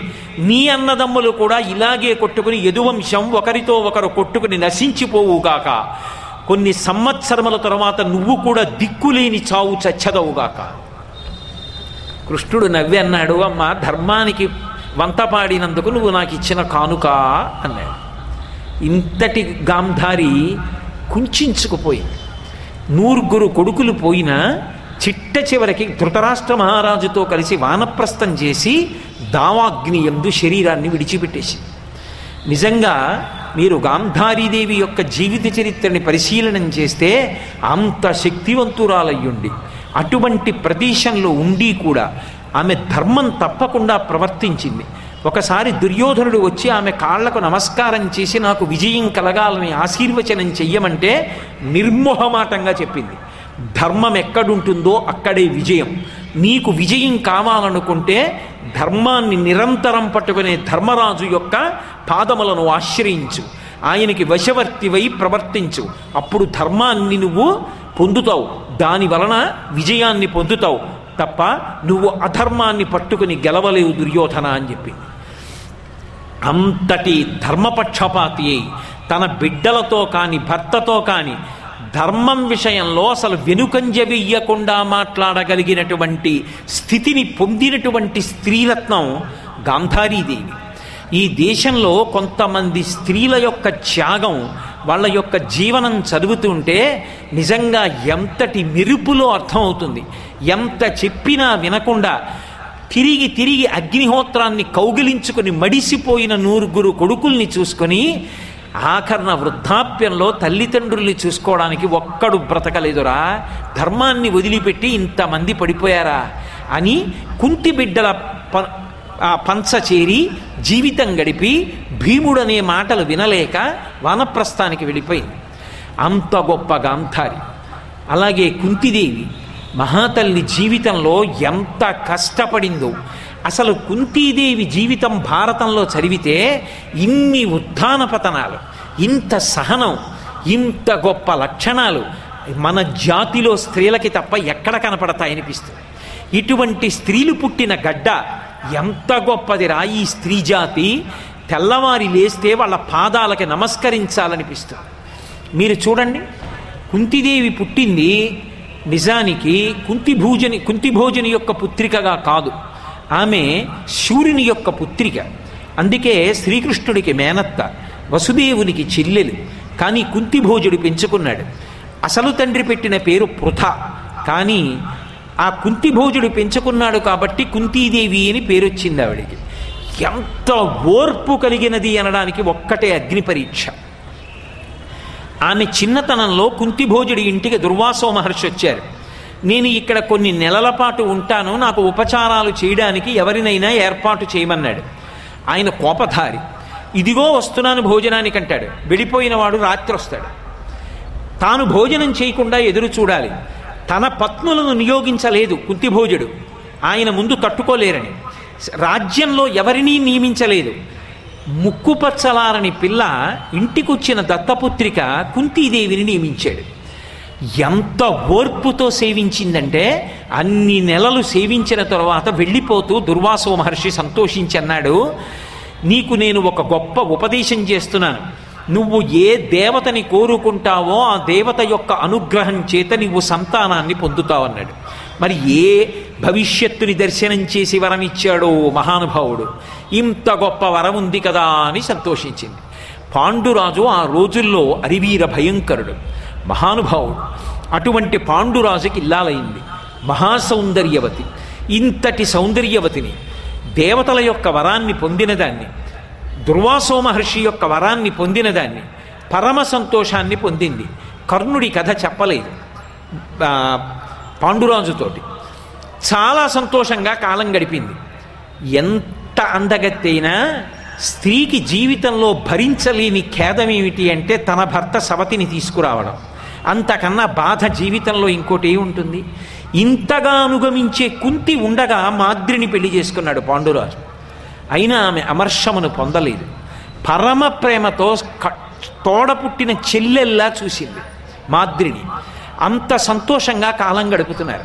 శతశృంగ పర్వతం మీదకి వెళ్ళారు తీరా వెళ్ళిన తరువాత అనుకోని రీతిలో బాణప్రయోగం చేశాడు పాండురాజు. ముని శాపం ఇచ్చాడు నువ్వు నీ భార్యలతో సంగమిస్తే మరణాన్ని పొందుతా ఉన్నాడు. సంతానం కలగలేదు. నాకు సంతానం కలగాలి ఎలా? తండ్రిని అవడం ఎలా? లేకపోతే ఉన్నత గతులు ఉండవని బాధపడ్డాడు. కుంతీదేవి చెప్పింది నాకు వరం ఉందంది. అయితే నువ్వు ప్రార్థన చేసి సంతానాన్ని కనన్నాడు. భర్త అనుమతితో దేవతల్ని ప్రార్థన చేసింది. ధర్మరాజ అనుగ్రహంగా ధర్మరాజుని వాయువు అనుగ్రహం చేత భీముణ్ణి అలాగే దేవేంద్ర అనుగ్రహంగా అర్జునుణ్ణి కంది. ఇప్పుడు మీరు ఆలోచించండి సహజంగా సమతులు ఇద్దరుంటే తనకే బిడ్డలున్నారు. అందున అక్కడ గర్భిణి అయి ఉంది గాంధారి. ఆమె కన్నా ముందు తను బిడ్డల్ని కంది. కాబట్టి సింహాసనానికి వారసుల్ని కంది. కుంతీదేవి జీవితంలో మళ్ళీ ఓ మెట్టు పైకెక్కింది మెట్టు పైకెక్కి సంతోషించింది. మాద్రి కన్నా నేను గొప్పదాన్ని బిడ్డలున్నారు. గాంధారి కన్నా గొప్పదాన్ని ముందు సంతానాన్ని కొన్నాను సింహాసనానికి వారసుల్ని ఇచ్చాను. నా భర్త భార్యాసంగమం చేసి బిడ్డల్ని కనకపో కనవలసినటువంటి స్థితిని కోల్పోయినా ఆయన తండ్రి అవడానికి వైదికంగా ధార్మికమైన మార్గాన్ని కల్పించాను. నేను చేసిన ఋషి శుశ్రూష వలన. పైన నిలబడింది సంతోషం పొందింది. రెండు నిమిషాలు నిలబడలా. ఆ మంత్రం మాద్రికి కూడా చెప్పు ఆమె కూడా సంతానాన్ని పొందుతుందన్నాడు. వెంటనే భర్త ఆజ్ఞ అని మంత్రాన్ని మాద్రికి ఉపదేశం చేసింది. మాద్రి అశ్వినీ దేవతల అనుగ్రహం చేత నకుల సహదేవుల్ని కని తల్లి అయింది. పాండురాజు సహజ చాపల్యం చేత నిగ్రహించుకోలేక మాద్రితో కామసుఖాన్ని అనుభవించపోయి ప్రాణత్యాగం చేశాడు. ఆయనని విడిచిపెట్టి ఉండలేనని చెప్పి భర్త లేకుండా ఇన్ని రాజకీయాల మధ్యలో ధృతరాష్ట్రుడి మధ్య ఆ దుర్యోధనుడితోటి ఇటువంటి వాళ్ళతో వేగి దేవతల వలన పొందినటువంటి సంతానాన్ని ధార్మికమని ఒక ఆడది నోరు విప్పి చెప్పుకోవలసి రావడం కన్నా కష్టం ఎక్కడుంటుంది? నేను ఇన్ని కష్టాలు తట్టుకోలేను వీళ్ళకి సింహాసనం దక్కే వరకు నేను ఈ చదరంగం ఆడలేనని మాద్రి సహగమనం చేసి భర్తతో పాటుగా శరీరత్యాగం చేసింది. తన తోడి తన సవతి బిడ్డలు అని చూడకుండా తన కడుపున పుట్టిన బిడ్డల కన్నా నగలు సహదేవుల్ని ఎక్కువగా ప్రేమించి ప్రేమించి ఐదుగురికి ద్రౌపదీదేవిని ఇల్లాలని చేసింది. ఐదుగురిని కంటికి రెప్పలా పెంచి కాపాడింది. ఐదుగురు కష్టాలు దాటారు అమ్మయ్య ఏదో రాజ్యాన్ని పొందారు అనుకునేటప్పటికీ జూదమాడి ధర్మరాజు మళ్ళీ రాజ్యాన్ని పోగొట్టుకుని అరణ్యవాసానికి వెళ్ళిపోతున్నాడు. ఎంత బాధపడిందో. దుర్యోధనుడి ఇంట్లో ఉంటే ఏ మాటలంటాడో? తిన్న అన్నం సహించదని విదురుడి ఇంటికి వెళ్ళి విదురుడి పంచన తలదాచుకుంది. మళ్ళీ కురుక్షేత్ర సంగ్రామం జరిగింది. రాజ్యం వచ్చింది. అందరూ సంతోషించారు. ఒక ఆసనంలో ధృతరాష్ట్రుడు కూర్చున్నాడు. ఒక ఆసనంలో ధర్మరాజు కూర్చున్నాడు. చనిపోయిన వీరుల పేర్లు చెప్తున్నారు. నాకు చెందినవాడు. ధర్మరాజులు నువ్వులు నువ్వులు నీళ్ళు వదులుతున్నాడు. నాకు చెందినవాడు. ధృతరాష్ట్రుడు వదులుతున్నాడు కర్ణుడి పేరు చెప్పారు. నాకు చెందినవాడు కాడని ధర్మరాజు అన్నాడు. నాకు చెందినవాడు కాడని ధృతరాష్ట్రుడు అన్నాడు. తట్టుకోలేకపోయింది. ఆయనని వెళ్ళి యుద్ధ శిబిరంలో ప్రార్థన చేస్తే అర్జునుడు వినా మిగిలిన పాండవుల జోలికి రాను నీకు ఐదుగురు పాండవులు ఎప్పుడూ ఉంటారన్నాడు. అటువంటి తన కొడుకుని జీవితంలో ఎప్పుడూ కన్యాసంతానం చెప్పలేకపోయింది. కనీసం నువ్వులు నీళ్ళు దక్కట్లా తట్టుకోలేకపోయింది. భోరున ఎచ్చి చెప్పేసింది నా కొడుకే మీకు సోదరుడంది. ఇంత ఏ పాండవుల కోసం కష్టపడిందో ధర్మరాజు అన్నాడు ఎంత తప్పు చేశావమ్మా? ఆ కర్ణుడు పట్టాభిషేకం చేసుకోవాలి పెద్దవాడు. నువ్వు ఈ రహస్యాన్ని దాచి అన్నని చంపించావు. కాబట్టి ఆడదాని నోట నువ్వు గింజనానినంతసేపు నిజము దాగకుండుగా కాని శాపం ఇచ్చాడు తల్లిది. ఎవరి కోసం కష్టపడిందో ఆ బిడ్డల వలన శాపం పొందింది. తలదించుకుంది. గాంధారికి కోపం వచ్చింది. ధర్మరాజు గారి కాళ్ళు బొబ్బలిక్కాయి. ఏమో అరణ్యవాసానికి వెళ్ళిన తర్వాత భర్తతో కలిసి వెళ్ళినప్పుడు ఆ భర్త చటుక్కున కింద పడిపోతే నూరుగురు కొడుకులను కన్నాను. ఒక్కణ్ణి మిగల్చలేదు భీముడన్న ఆక్రోశం వచ్చి ఏం శపిస్తుందో. తనకు అక్కర లేకపోయినా కూడా వాళ్ళతో కలిసి అరణ్యవాసానికి వెళ్ళిపోయింది వానప్రస్థానికి. ఆఖరికి దావానలంలో శరీరం వదిలేసింది. ఇన్ని ఉత్థాన పతనాలు జీవితంలో చూసి ఇన్ని కష్టాలు పడిన కుంతి ఎన్నడూ ధర్మం వదిలిపెట్టలేదు. అంపశయ్య మీద పడుకున్న భీష్మాచార్యుల వారు క్షేమం అడిగింది ఎవరిని అంటే కుంతీదేవిని అడిగి అంతటి భీష్ముడు ఒక మాట అన్నాడు. అసలు ఆ కుంతీదేవి ఎటువంటి స్త్రీ? అటువంటి స్త్రీ లోకంలో ఉంటుందా? ఇన్ని కష్టాలు పడింది ఎన్ని కష్టాలు పడి పిల్లల్ని పెంచి పెద్ద చేసింది మహా ఉన్నత్యము కలిగిన తల్లిని భీష్ముడి చేత పొగిడించుకుంది. చివరికి వైరాగ్యం పొంది కృష్ణ భగవానుణ్ణి ప్రార్థించింది. యాదవులందు పాండు సుతులందు నాకు మోహ విచ్ఛేదము చేయుమయ్య. ఘనసింధువు చేరిడి గంగభంగి నీపాద సరోజ చింతనముపై అనిశము మదీయ బుద్ధి అచ్చాదర వృత్తితో గదియగనట్లు చెయ్యగదయ్య ఈశ్వర. చాలు కృష్ణ ఈ ఉత్థాన పతనాలు జీవితంలో ఎన్నో చూశా. ఎన్- ఒక్కొక్కసారి సంతోషించా ఒక్కొక్కసారి లోయల్లోకి జారిపోయా. ఇన్ని కష్టాలు పడ్డాను. యాదవులందు నువ్వు ఉన్నావని నా మేనల్లుడని నేను మేనత్తనని నాకు ఈ యదువంశం మీద మమకారం వద్దు. కడుపున పుట్టిన బిడ్డలని పాండవుల మీద మమకారం వద్దు. నాకు ఈ మమకారం అన్న పాశాలు కోసేయవయ్యవా కృష్ణ. ఆ గంగ ఎక్కడ పుట్టిందో ప్రవహించి ప్రవహించి ప్రవహించి సముద్రంలో చేరిపోయినట్టుగా ఇక నా జీవితం ఎప్పుడూ నిన్నే స్మరిస్తూ స్మరిస్తూ స్మరిస్తూ నీలోనే ఐక్యమైపోయేటట్టుగా నువ్వు వినా ఇంకొక ఆలోచన నా మనస్సుకి రాకుండా నన్ను అనుగ్రహించవయ్యా. ఘనసింధువు చేరిడి గంగభంగి నీపాద సరోజ చింతనముపై అనిశము మదీయ బుద్ధి అచ్చాదర వృత్తితో గదియగనట్లు చెయ్యగదయ్య ఈశ్వరా అని అడిగింది. ఏమి కుంతీదేవి? నేను కేవలం విహంగ వీక్షణం చేస్తున్నానంతే. ఒక్కొక్క స్త్రీ ప్రవర్తన చూస్తే వాళ్ళ నడవడి చూస్తే ఏమి స్త్రీ వైశిష్ట్యం రా? అసలు నిజంగా వీళ్ళతో పోల్చడానికి తగిన పురుషులున్నారా కావ్య పురాణాల్లో అనిపిస్తుంది. అంత ఉదాత్తమైనటువంటి చరిత్ర కలిగిన వారు. ద్రౌపదీదేవి నా తల్లిది ఎంత గొప్ప ధర్మం నిజంగా. లోకంలో కలిసొచ్చిన నాళ్ళు ధర్మం పట్టుకోవడం చాలా తేలికండి. ఉపపాండవుల ఐదుగురు. ద్రౌపదీదేవి పట్టమహిషి గనక ఆమె ఎందు ధర్మరాజు భీముడు అర్జునుడు నకులుడు సహదేవుడు కన్న బిడ్డలెవరో వాళ్ళే ఉత్తరాధికారులు. కురుక్షేత్ర సంగ్రామం పూర్తయిపోయింది. శిబిరాలు వేసి ఉన్నారు. ఉపపాండవులు వాళ్ళు యుద్ధభూమికి వెళ్ళలేదు. చిన్నపిల్లలు. గాఢ నిద్రలో ఉన్నారు. అశ్వత్థామకి ఉన్మాదం కలిగింది. దుర్యోధనుడికి మాట ఇచ్చాడు తొడలు విరిగిపోయి పడిపోయి ఉన్నాడు. నేను నీ యొక్క పగని చల్లారుస్తానన్నాడు. ఎలా పాండవుల మీదకి యుద్ధానికి వెళ్ళడం? ఆలోచిస్తూ కూర్చున్నాడు రాత్రివేళ. అకస్మాత్తుగా చూశాడు ఎక్కడి నుంచో ఒక గుడ్లగూబ వచ్చి ఒక పక్షి చెట్టు మీద గూట్లో ఆ పక్షి పెట్టినటువంటి పిల్లల్ని తన వాడి ముక్కుతో చీల్చి చంపేసింది. ఆ ఇదే నేను చెయ్యాలి.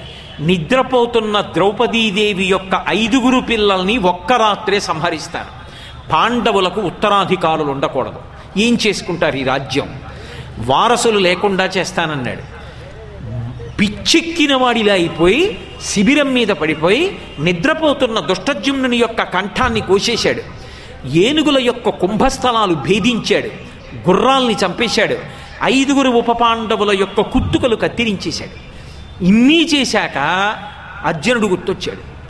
ఐదుగురిని చంపేశాను అర్జునుడికి తెలిస్తే పారిపోయాడు. మరునాడు ద్రౌపదీదేవి ఏడుస్తుంటే ఇదేదో జరుగుతుందని తెలుసు కృష్ణ పరమాత్మకి. పాండవుల్ని దూరంగా ఉంచాడు. పాండవులు తిరిగి వచ్చారు మీరు ఆలోచించండి. అంతకన్నా కష్టం లోకంలో ఇంకో స్త్రీకి ఉంటుందండి గుండెలు బాదుకుని ఏడుస్తోంది. ఇన్ని కష్టాలు పడింది. నేను ఎంతకని చెప్పను మీకు తెలియనివా? ఇన్ని కష్టాలు పడింది మహాతల్లి నిజంగా. ఆవిడలా కష్టాలు పడిన వాళ్ళు ఎవరు కనపడరు. మహాభారతం చదువుతుంటే ద్రౌపదీదేవి కష్టాలు చూస్తుంటే కళ్ళు చెమ్మగిల్లుతాయి. అన్ని కష్టాలు పడింది మహాతల్లి. అటువంటి తల్లి అమ్మయ్యా కురుక్షేత్రం అయిందనేటప్పటికీ ఐదుగురు కొడుకులు చచ్చిపోయారు.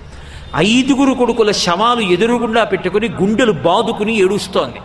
అర్జునుడు అన్నాడు నీ కొడుకుల్ని తెగటార్చిన వాడిని పట్టి తీసుకొచ్చి నీ కాళ్ళ ముందు పారేస్తాను. నీ ఇష్టం వచ్చినట్టు శిక్షించన్నాడు. అశ్వత్థామని పట్టుకోవడానికి వెళ్ళాడు. ఉపసంహారం తెలియకపోయినా బ్రహ్మాస్త్ర ప్రయోగం చేశాడు. కృష్ణుడికి ప్రదక్షిణం చేసి బ్రహ్మాస్త్రాన్ని ఉపసంహారం చేశాడు అర్జునుడు. అర్జునుణ్ణి ఆ అశ్వత్థామని పశువుని కట్టినట్టు కట్టాడు. కట్టి తీసుకొచ్చి ఆ ద్రౌపదీదేవి ముందు పడేశాడు. వీడే నీ పుత్రుల్ని చంపినవాడు. నీ కాల్తో వీడి తల తన్నన్నాడు.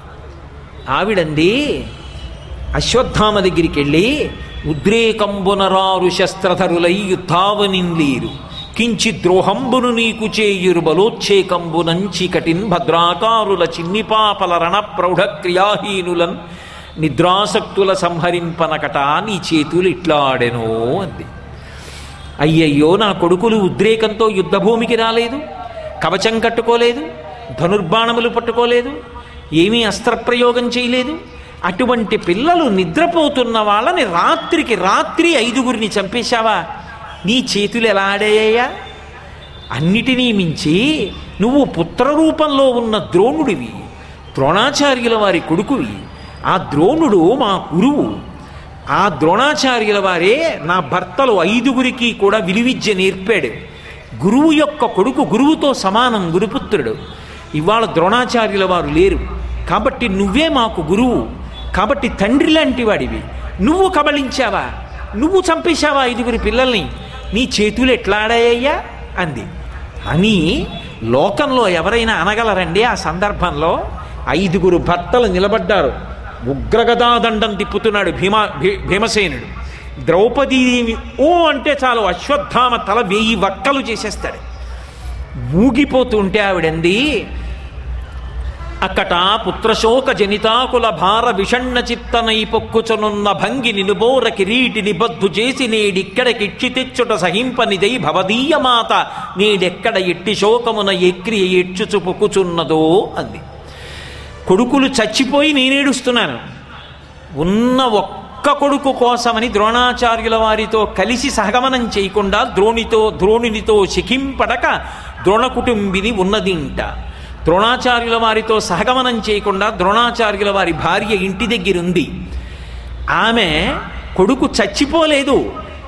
నా ఐదుగురు బిడ్డల్ని చంపేశారనేటటువంటి కోపంతో ఐదుగురు పాండవులు చిత్రవధ చేసేస్తారు అశ్వత్థామనన్న విషయం తెలిసి తన కొడుకు ఎవరి చేత ఇంత విద్య నేర్చుకున్నారో వాళ్ళ చేతుల్లోనే చచ్చిపోతున్నాడని ఎంత ఏడుస్తోందో.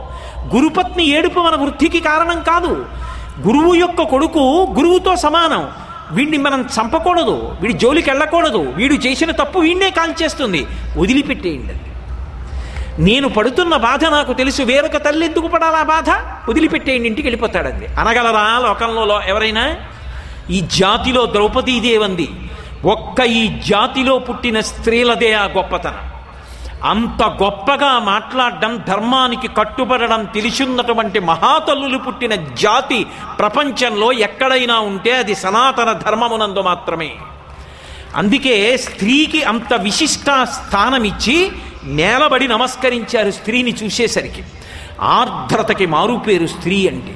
అంత గొప్ప మాట మాట్లాడితే చంపకుండా ఉండలేక చంపినట్టు కాక ధర్మానికి నిలబడ్డం కోసమని చెప్పి ఆ పాశవ్రాత బంధంబుల నుచ్చితోచి శిబిరోర్వీభాగంబునం పాశిపోన్.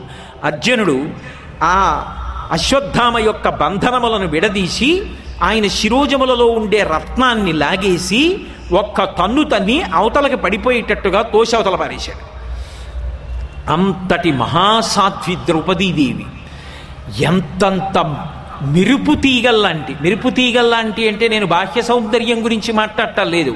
అంతఃసౌందర్యం వాళ్ళ శీల వైభవం వాళ్ళు ధర్మానికి కట్టుబడినటువంటి తీరు నిజంగా ధృతరాష్ట్రుండి ఆమెయే ఇంకొక వరం కోరుకుంటే పాండవులు అరణ్యవాసం చెయ్యక్కర్లా. కానీ ఆమె ధర్మాన్ని ఆశ్రయించి ఎన్ని వరాలు కోరాలో అన్నీ కోరుకుంది కాబట్టి ధర్మం వల్ల మళ్ళీ పాండవులు అరణ్యవాసం అజ్ఞాతవాసం చేసి తమ యొక్క పౌరుష ప్రతాపములతో రాజ్యాన్ని సంపాదించుకుని కీర్తి పొందారు. ఎంత గొప్ప ద్రౌపదీదేవి. నిజంగా నేను ద్రౌపదీదేవి వైశిష్ట్యం ఒక్కటి చెప్పవలసి వస్తే మూడు నెలలు ఈ పట్టణంలో ఉంటే మాత్రం పూర్తవుతుందా?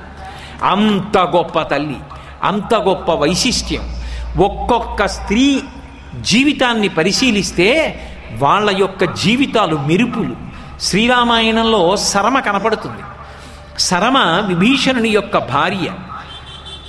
నిజానికి ధర్మాన్ని ఆశ్రయించి ఉంటాడు విభీషణుడు ఎప్పుడు రావణుడు కుంభకర్ణుడు విభీషణుడు ముగ్గురు కూడా చతుర్ముఖ బ్రహ్మగారిని ఉద్దేశించి తపస్సు చేశారు.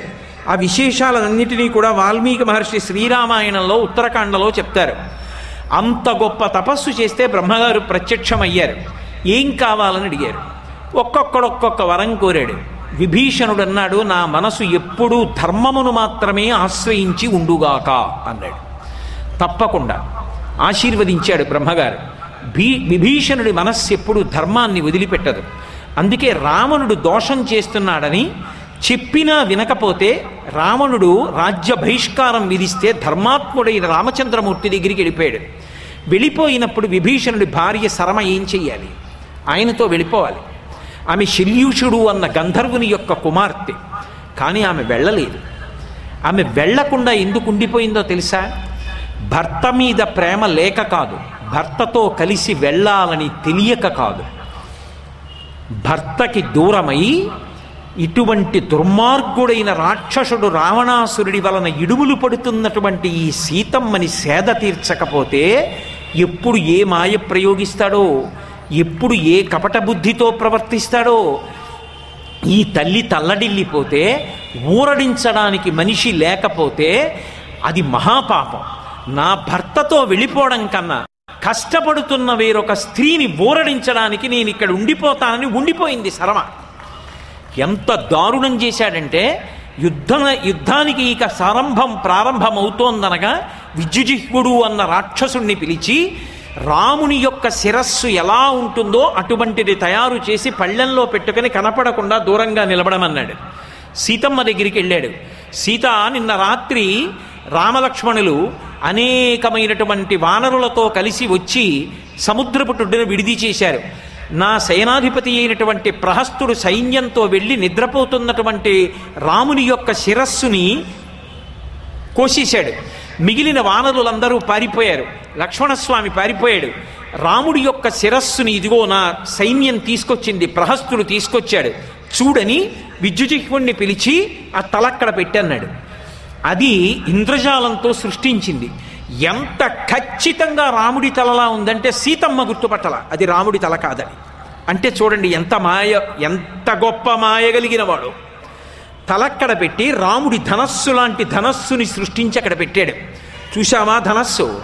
ఈ కోదండం పట్టుకునే కదు నన్ను సంహరిస్తాడన్నావు ఈ రాముణ్ణి నమ్ముకునే కదు నా పాన్పు చేరలేదు. రాముడి తల తెగిపోయింది.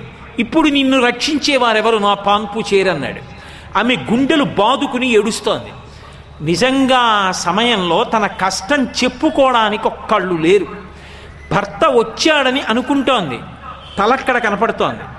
ఆ అంత శోకంలో మనసు పనిచేస్తుందండి. ఎంత ఖేదానికి లోనైపోయిందో. అదొకెత్తు. తాను చచ్చిపోవడాన్ని ఒప్పుకోడు. ధర్మం వదిలిపెట్టి తన పాన్పు చేరమంటాడు. అంతటి నీచుడు. ఆమె ఎంత ఖేదపడిపోయిందో. తను కనపడితే చంపేస్తాడని తెలిసినా సరే నిర్భయంగా శరమ ఆకాశంలోనే నిలబడింది. భగవంతుడు ఒకడు ఉన్నాడు కదూ రావణుడు చూడలేరు శరమని.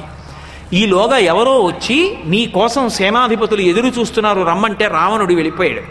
అక్కడ పెట్టిన తల అదృశ్యమైపోయింది. వెంటనే శరమ పరుగు పరుగునొచ్చింది. సీతమ్మని ఊరడించింది. కష్టంలో ఉన్న ఒక స్త్రీని ఊరడించడం కోసం భర్తతో కలిసి వెళ్ళిపోకుండా నిలబడిపోయిన మహాసాధ్వి శరమ ఒక రాక్షసుడి భార్య అయితే ఏమండి? ఎంత గొప్ప స్త్రీ. ఆమెతో ఒక మాట అందమ్మా సీతమ్మ ఎందుకమ్మా బెంగ పెట్టుకుంటావు? నేను ఇప్పుడే ఆకాశగమనం చేసి రామచంద్రమూర్తి దర్శనం చేసి వచ్చాను రాముడికి విశ్వామిత్రుడి వరం ఉందమ్మా. నశ్రమో నజ్వరో వాతేన రూపస్య విపర్యయ. ఆయనకి శ్రమ ఉండదు జ్వరం ఉండదు ఆయన నిద్రపోతున్న రాక్షసులు ఆయనని సంహరించలేరు. ఈ ధూర్తుడు ప్రహస్తుడు సంహరించగలడా? కొద్ది కాలంలోనే ఆయన ఈ లంకారాజ్యాన్నంతటినీ ఆక్రమించి రావణవధ చేస్తాడమ్మా నన్ను నమ్ము. రాముడు పరమ సంతోషంగా ఉన్నాడండి. అయినా ఆమె మనస్సు ఊరడిల్లలా. రావణుడు అలా వెళ్ళిపోగానే ఈ తలా ధనస్సు అదృశ్యమైపోయింది ఆమె అంది వెళ్ళి రావణుడు ఏం చేస్తున్నాడో చూసి వచ్చి చెప్పవా? అంది. వెంటనే వెళ్ళలేదనుకోండి శరమ. నీ చెప్తున్నాను కదమ్మా. అందనుకోండి ఊరడించడానికి చెప్తోందేమో అన్న అనుమానం వచ్చిందనుకోండి ఏమో ఎటువైనా ఆలోచన రావచ్చు. ఆమె వెళ్ళి వచ్చింది. తన ప్రాణానికి సంకటం కాదా? సేనాపతులతో ఆయన మాట్లాడుతున్నప్పుడు తనని విడిచిపెట్టి వెళ్ళిపోయి రాముడి పంచన చేరినటువంటి విభీషణుడి భార్య వింటూ ఉండడం తన ప్రాణాలు పోయినా పర్వాలేదు. తన సాటి స్త్రీ కష్టంలో ఉండి కాపాడాలి. ఎంత గొప్ప వనిత రాక్షస స్త్రీ అయితేనే శరమ. వెళ్ళి వింది. విని తిరిగి వచ్చింది సీతమ్మ దగ్గరికి. అమ్మా ఇప్పుడు విను. అదిగో నగారాలు మోగుతున్నాయి. భేరీలు మోగుతున్నాయి. యుద్ధ సంరంభం చేస్తున్నారు. ఎక్కడెక్కడి రాక్షసుల్ని రావణుడి పిలిపిస్తున్నాడు. రాక్షసుల మధ్య వానరుల మధ్య సంకుల సమరం జరగబోతోంది. నిజంగా రావణుడు చెప్పింది నిజమైతే రాముడు నిహ నిహతుడైతే యుద్ధ సంరంభం ఎందుకు జరుగుతుంది? అమ్మా రాముడు నిహతుడు కాలేదు. నన్ను నమ్ము. తల్లి నీకు ఒక గొప్ప ఉపశాంతి మార్గం చెప్తున్నాను. ఇక రామరావణ యుద్ధం ప్రారంభమవుతుంది. ఈ సమయంలో నువ్వు ఇలా బేలవై ఏడుస్తూ కూర్చోవడం కాదు. నీ భర్తకి దిగ్విజయం కలగాలి అంటే నువ్వు సూర్యోపాసన చెయ్యాలి. ప్రత్యక్ష ధైర్యం సూర్యనారాయణమూర్తి. కాబట్టి గిరివరమభితో వివర్తమానో హయవిమ మండలం తమహ తమిహ పైషు శరణగ శరణాగతిందేవి అమ్మా నువ్వేం చేయాలంటే మండలాకారంగా గుర్రాల్ని తిప్పేటటువంటి సూర్యభగవానుడు అదిగో తూర్పు దిక్కున ఉదయిస్తాడు. ఆయన గిరివరమభితో వివర్తమానో హయవి హయైవ మండలం అశుయక్కరోతి తమిహ పైహ శరణు మభ్యుపై దేవి. అదిగో ఆ సూర్య భగవానుండి నువ్వు శరణాగతి చెయ్యి. ఇక మనసులో మీ వంశమునకంతటికీ కూడా కర్త కులదైవం ఆ సూర్యనారాయణమూర్తిని మనస్సులో ఉంచుకో. ఆయన ఉన్నాడే దివసకరం. ఒక రోజుని చెయ్యగలిగినటువంటి మహానుభావుడు వెలుగుల ముద్ద. అటువంటి వెలుగుల ముద్ద అయినటువంటి ఆ సూర్యనారాయణమూర్తిని ఉపాసన చెయ్యి. ఆయన యొక్క అనుగ్రహం చేత నీకు మనశ్శాంతి కలుగుతుంది. రాముడికి విజయం తటస్థిస్తుంది. అమ్మా ఇలా బేలవై ఎడవవద్దు. సూర్యనారాయణమూర్తిని ఉపాసన చేయమని సీతమ్మని ఊరడించి రాముడి విజయానికి సీతమ్మ ఏం చెయ్యాలో ఉపదేశం చేసి వెళ్ళినటువంటి మహాతల్లి శరమ. రాక్షస స్త్రీ అయితేనే రామాయణంలో కొద్దిసేపు కనపడుతుంది. కానీ ఒక పెద్ద మెరుపు అంత గొప్ప విషయాలు అందించింది. సాటి స్త్రీ కష్టంలో ఉంటే తాను భద్రంగా ఉండడం కోసం ధర్మాత్ముడు భర్త అని అనుగమించి వెళ్ళిపోవడం కాదు. ఆయన ధర్మం కోసం ఎలా వెళ్ళిపోయాడో అవసరమైతే నా భర్తతో కలిసి వెళ్ళడం మానేసి కష్టంలో ఉన్న వేరొక స్త్రీ కోసం నా ప్రాణం వదిలిపెట్టేస్తానని నిలబడినటువంటి మహాతల్లి శరమ. అది ఈ దేశంలో ఉండేటటువంటి స్త్రీల యొక్క గొప్పతనం. ఒక్కొక్క స్త్రీ విశేషం జరుగుతుంటే ఇంత త్యాగం ఇంత గొప్పతనం నిజంగా పురుషుల ఎందు కనపడుతుందా అనిపిస్తుంది. అటువంటి పరమోత్కృష్టమైనటువంటి శీలవైభవం ఉన్నటువంటి స్త్రీలు జన్మించిన భూమి స్త్రీల పట్ల అంత ఆదరభావంతో అంత గౌరవంతో ప్రవర్తించిన జాతి. ఈ జాతిలో స్త్రీల పట్ల ఎన్నడూ కూడా దుఃఖకారకమైనటువంటి సంఘటనలు చరి చది జరిగి అందరూ తల ఉంచుకోవలసినటువంటి సందర్భాలు ఏర్పడకూడనటువంటి దేశం. అంత గొప్ప దేశం. స్త్రీమూర్తి యొక్క వైశిష్ట్యం ఎంత గొప్పదో ఆమె ఎంతటి త్యాగమూర్తియో ఆమె లేనినాడు మన బ్రతుకెలా లేదో చెల్లిగా ఆమె అనునయం. అక్కగా ఆమె ఓదార్పు. తల్లిగా ఆమె యొక్క మార్గదర్శనం. ధర్మపత్నిగా భర్త యొక్క ఉద్ధరణ. అన్నిటికీ హేతువు స్త్రీయే. అటువంటి స్త్రీ కావ్య పురాణములలో ఎంత గొప్ప గొప్ప స్థానాల్ని అలంకరించి తన ప్రవర్తన చేత చూపించిందో ఇవి కాల్పనిక కథలు కావు. ఇవి ఇతిహాసములు పరమసత్యములు. ఎంత గొప్పగా ప్రవర్తించారో స్త్రీలు ఎంత విశిష్టమైన స్థానములను అలంకరించిన వారో ఇవాల్టి రోజు ప్రవచనాన్ని ఇక్కడ పూర్తి చేసి రేపటి రోజున మళ్ళీ సాయంకాలం ఆరు గంటల ముప్పై నిమిషాలకి తిరిగి మనం కలుసుకున్నప్పుడు ఈ ప్రవచనాన్ని కొనసాగించి ఈ విషయం మీద మరికొన్ని విషయాలు మీకు చెప్పడానికి భగవంతుణ్ణి అనుగ్రహించమని ప్రార్థన చేస్తూ ఈ సమావేశం ఇక్కడితో ముగిసిందని ప్రకటిస్తూ మంగళాశాసనపరై వదాచార్య పురోగమై సర్వైశ్చ పూర్వైరాచార్యై సత్కృతాయాస్తు మంగళం. మంగళం కోసలేంద్రాయ మహనీయ గుణాత్మనే చక్రవర్తి తనూజాయ సర్వభౌమాయ మంగళం. ఉమాకాంతాయ కాంతాయ కామితార్థప్రదాయినే శ్రీగిరీశాయ దేవాయ మలినాథాయ మంగళం. సర్వం శ్రీ ఉమామహేశ్వర పరబ్రహ్మార్పణమస్తు. స్వస్తి.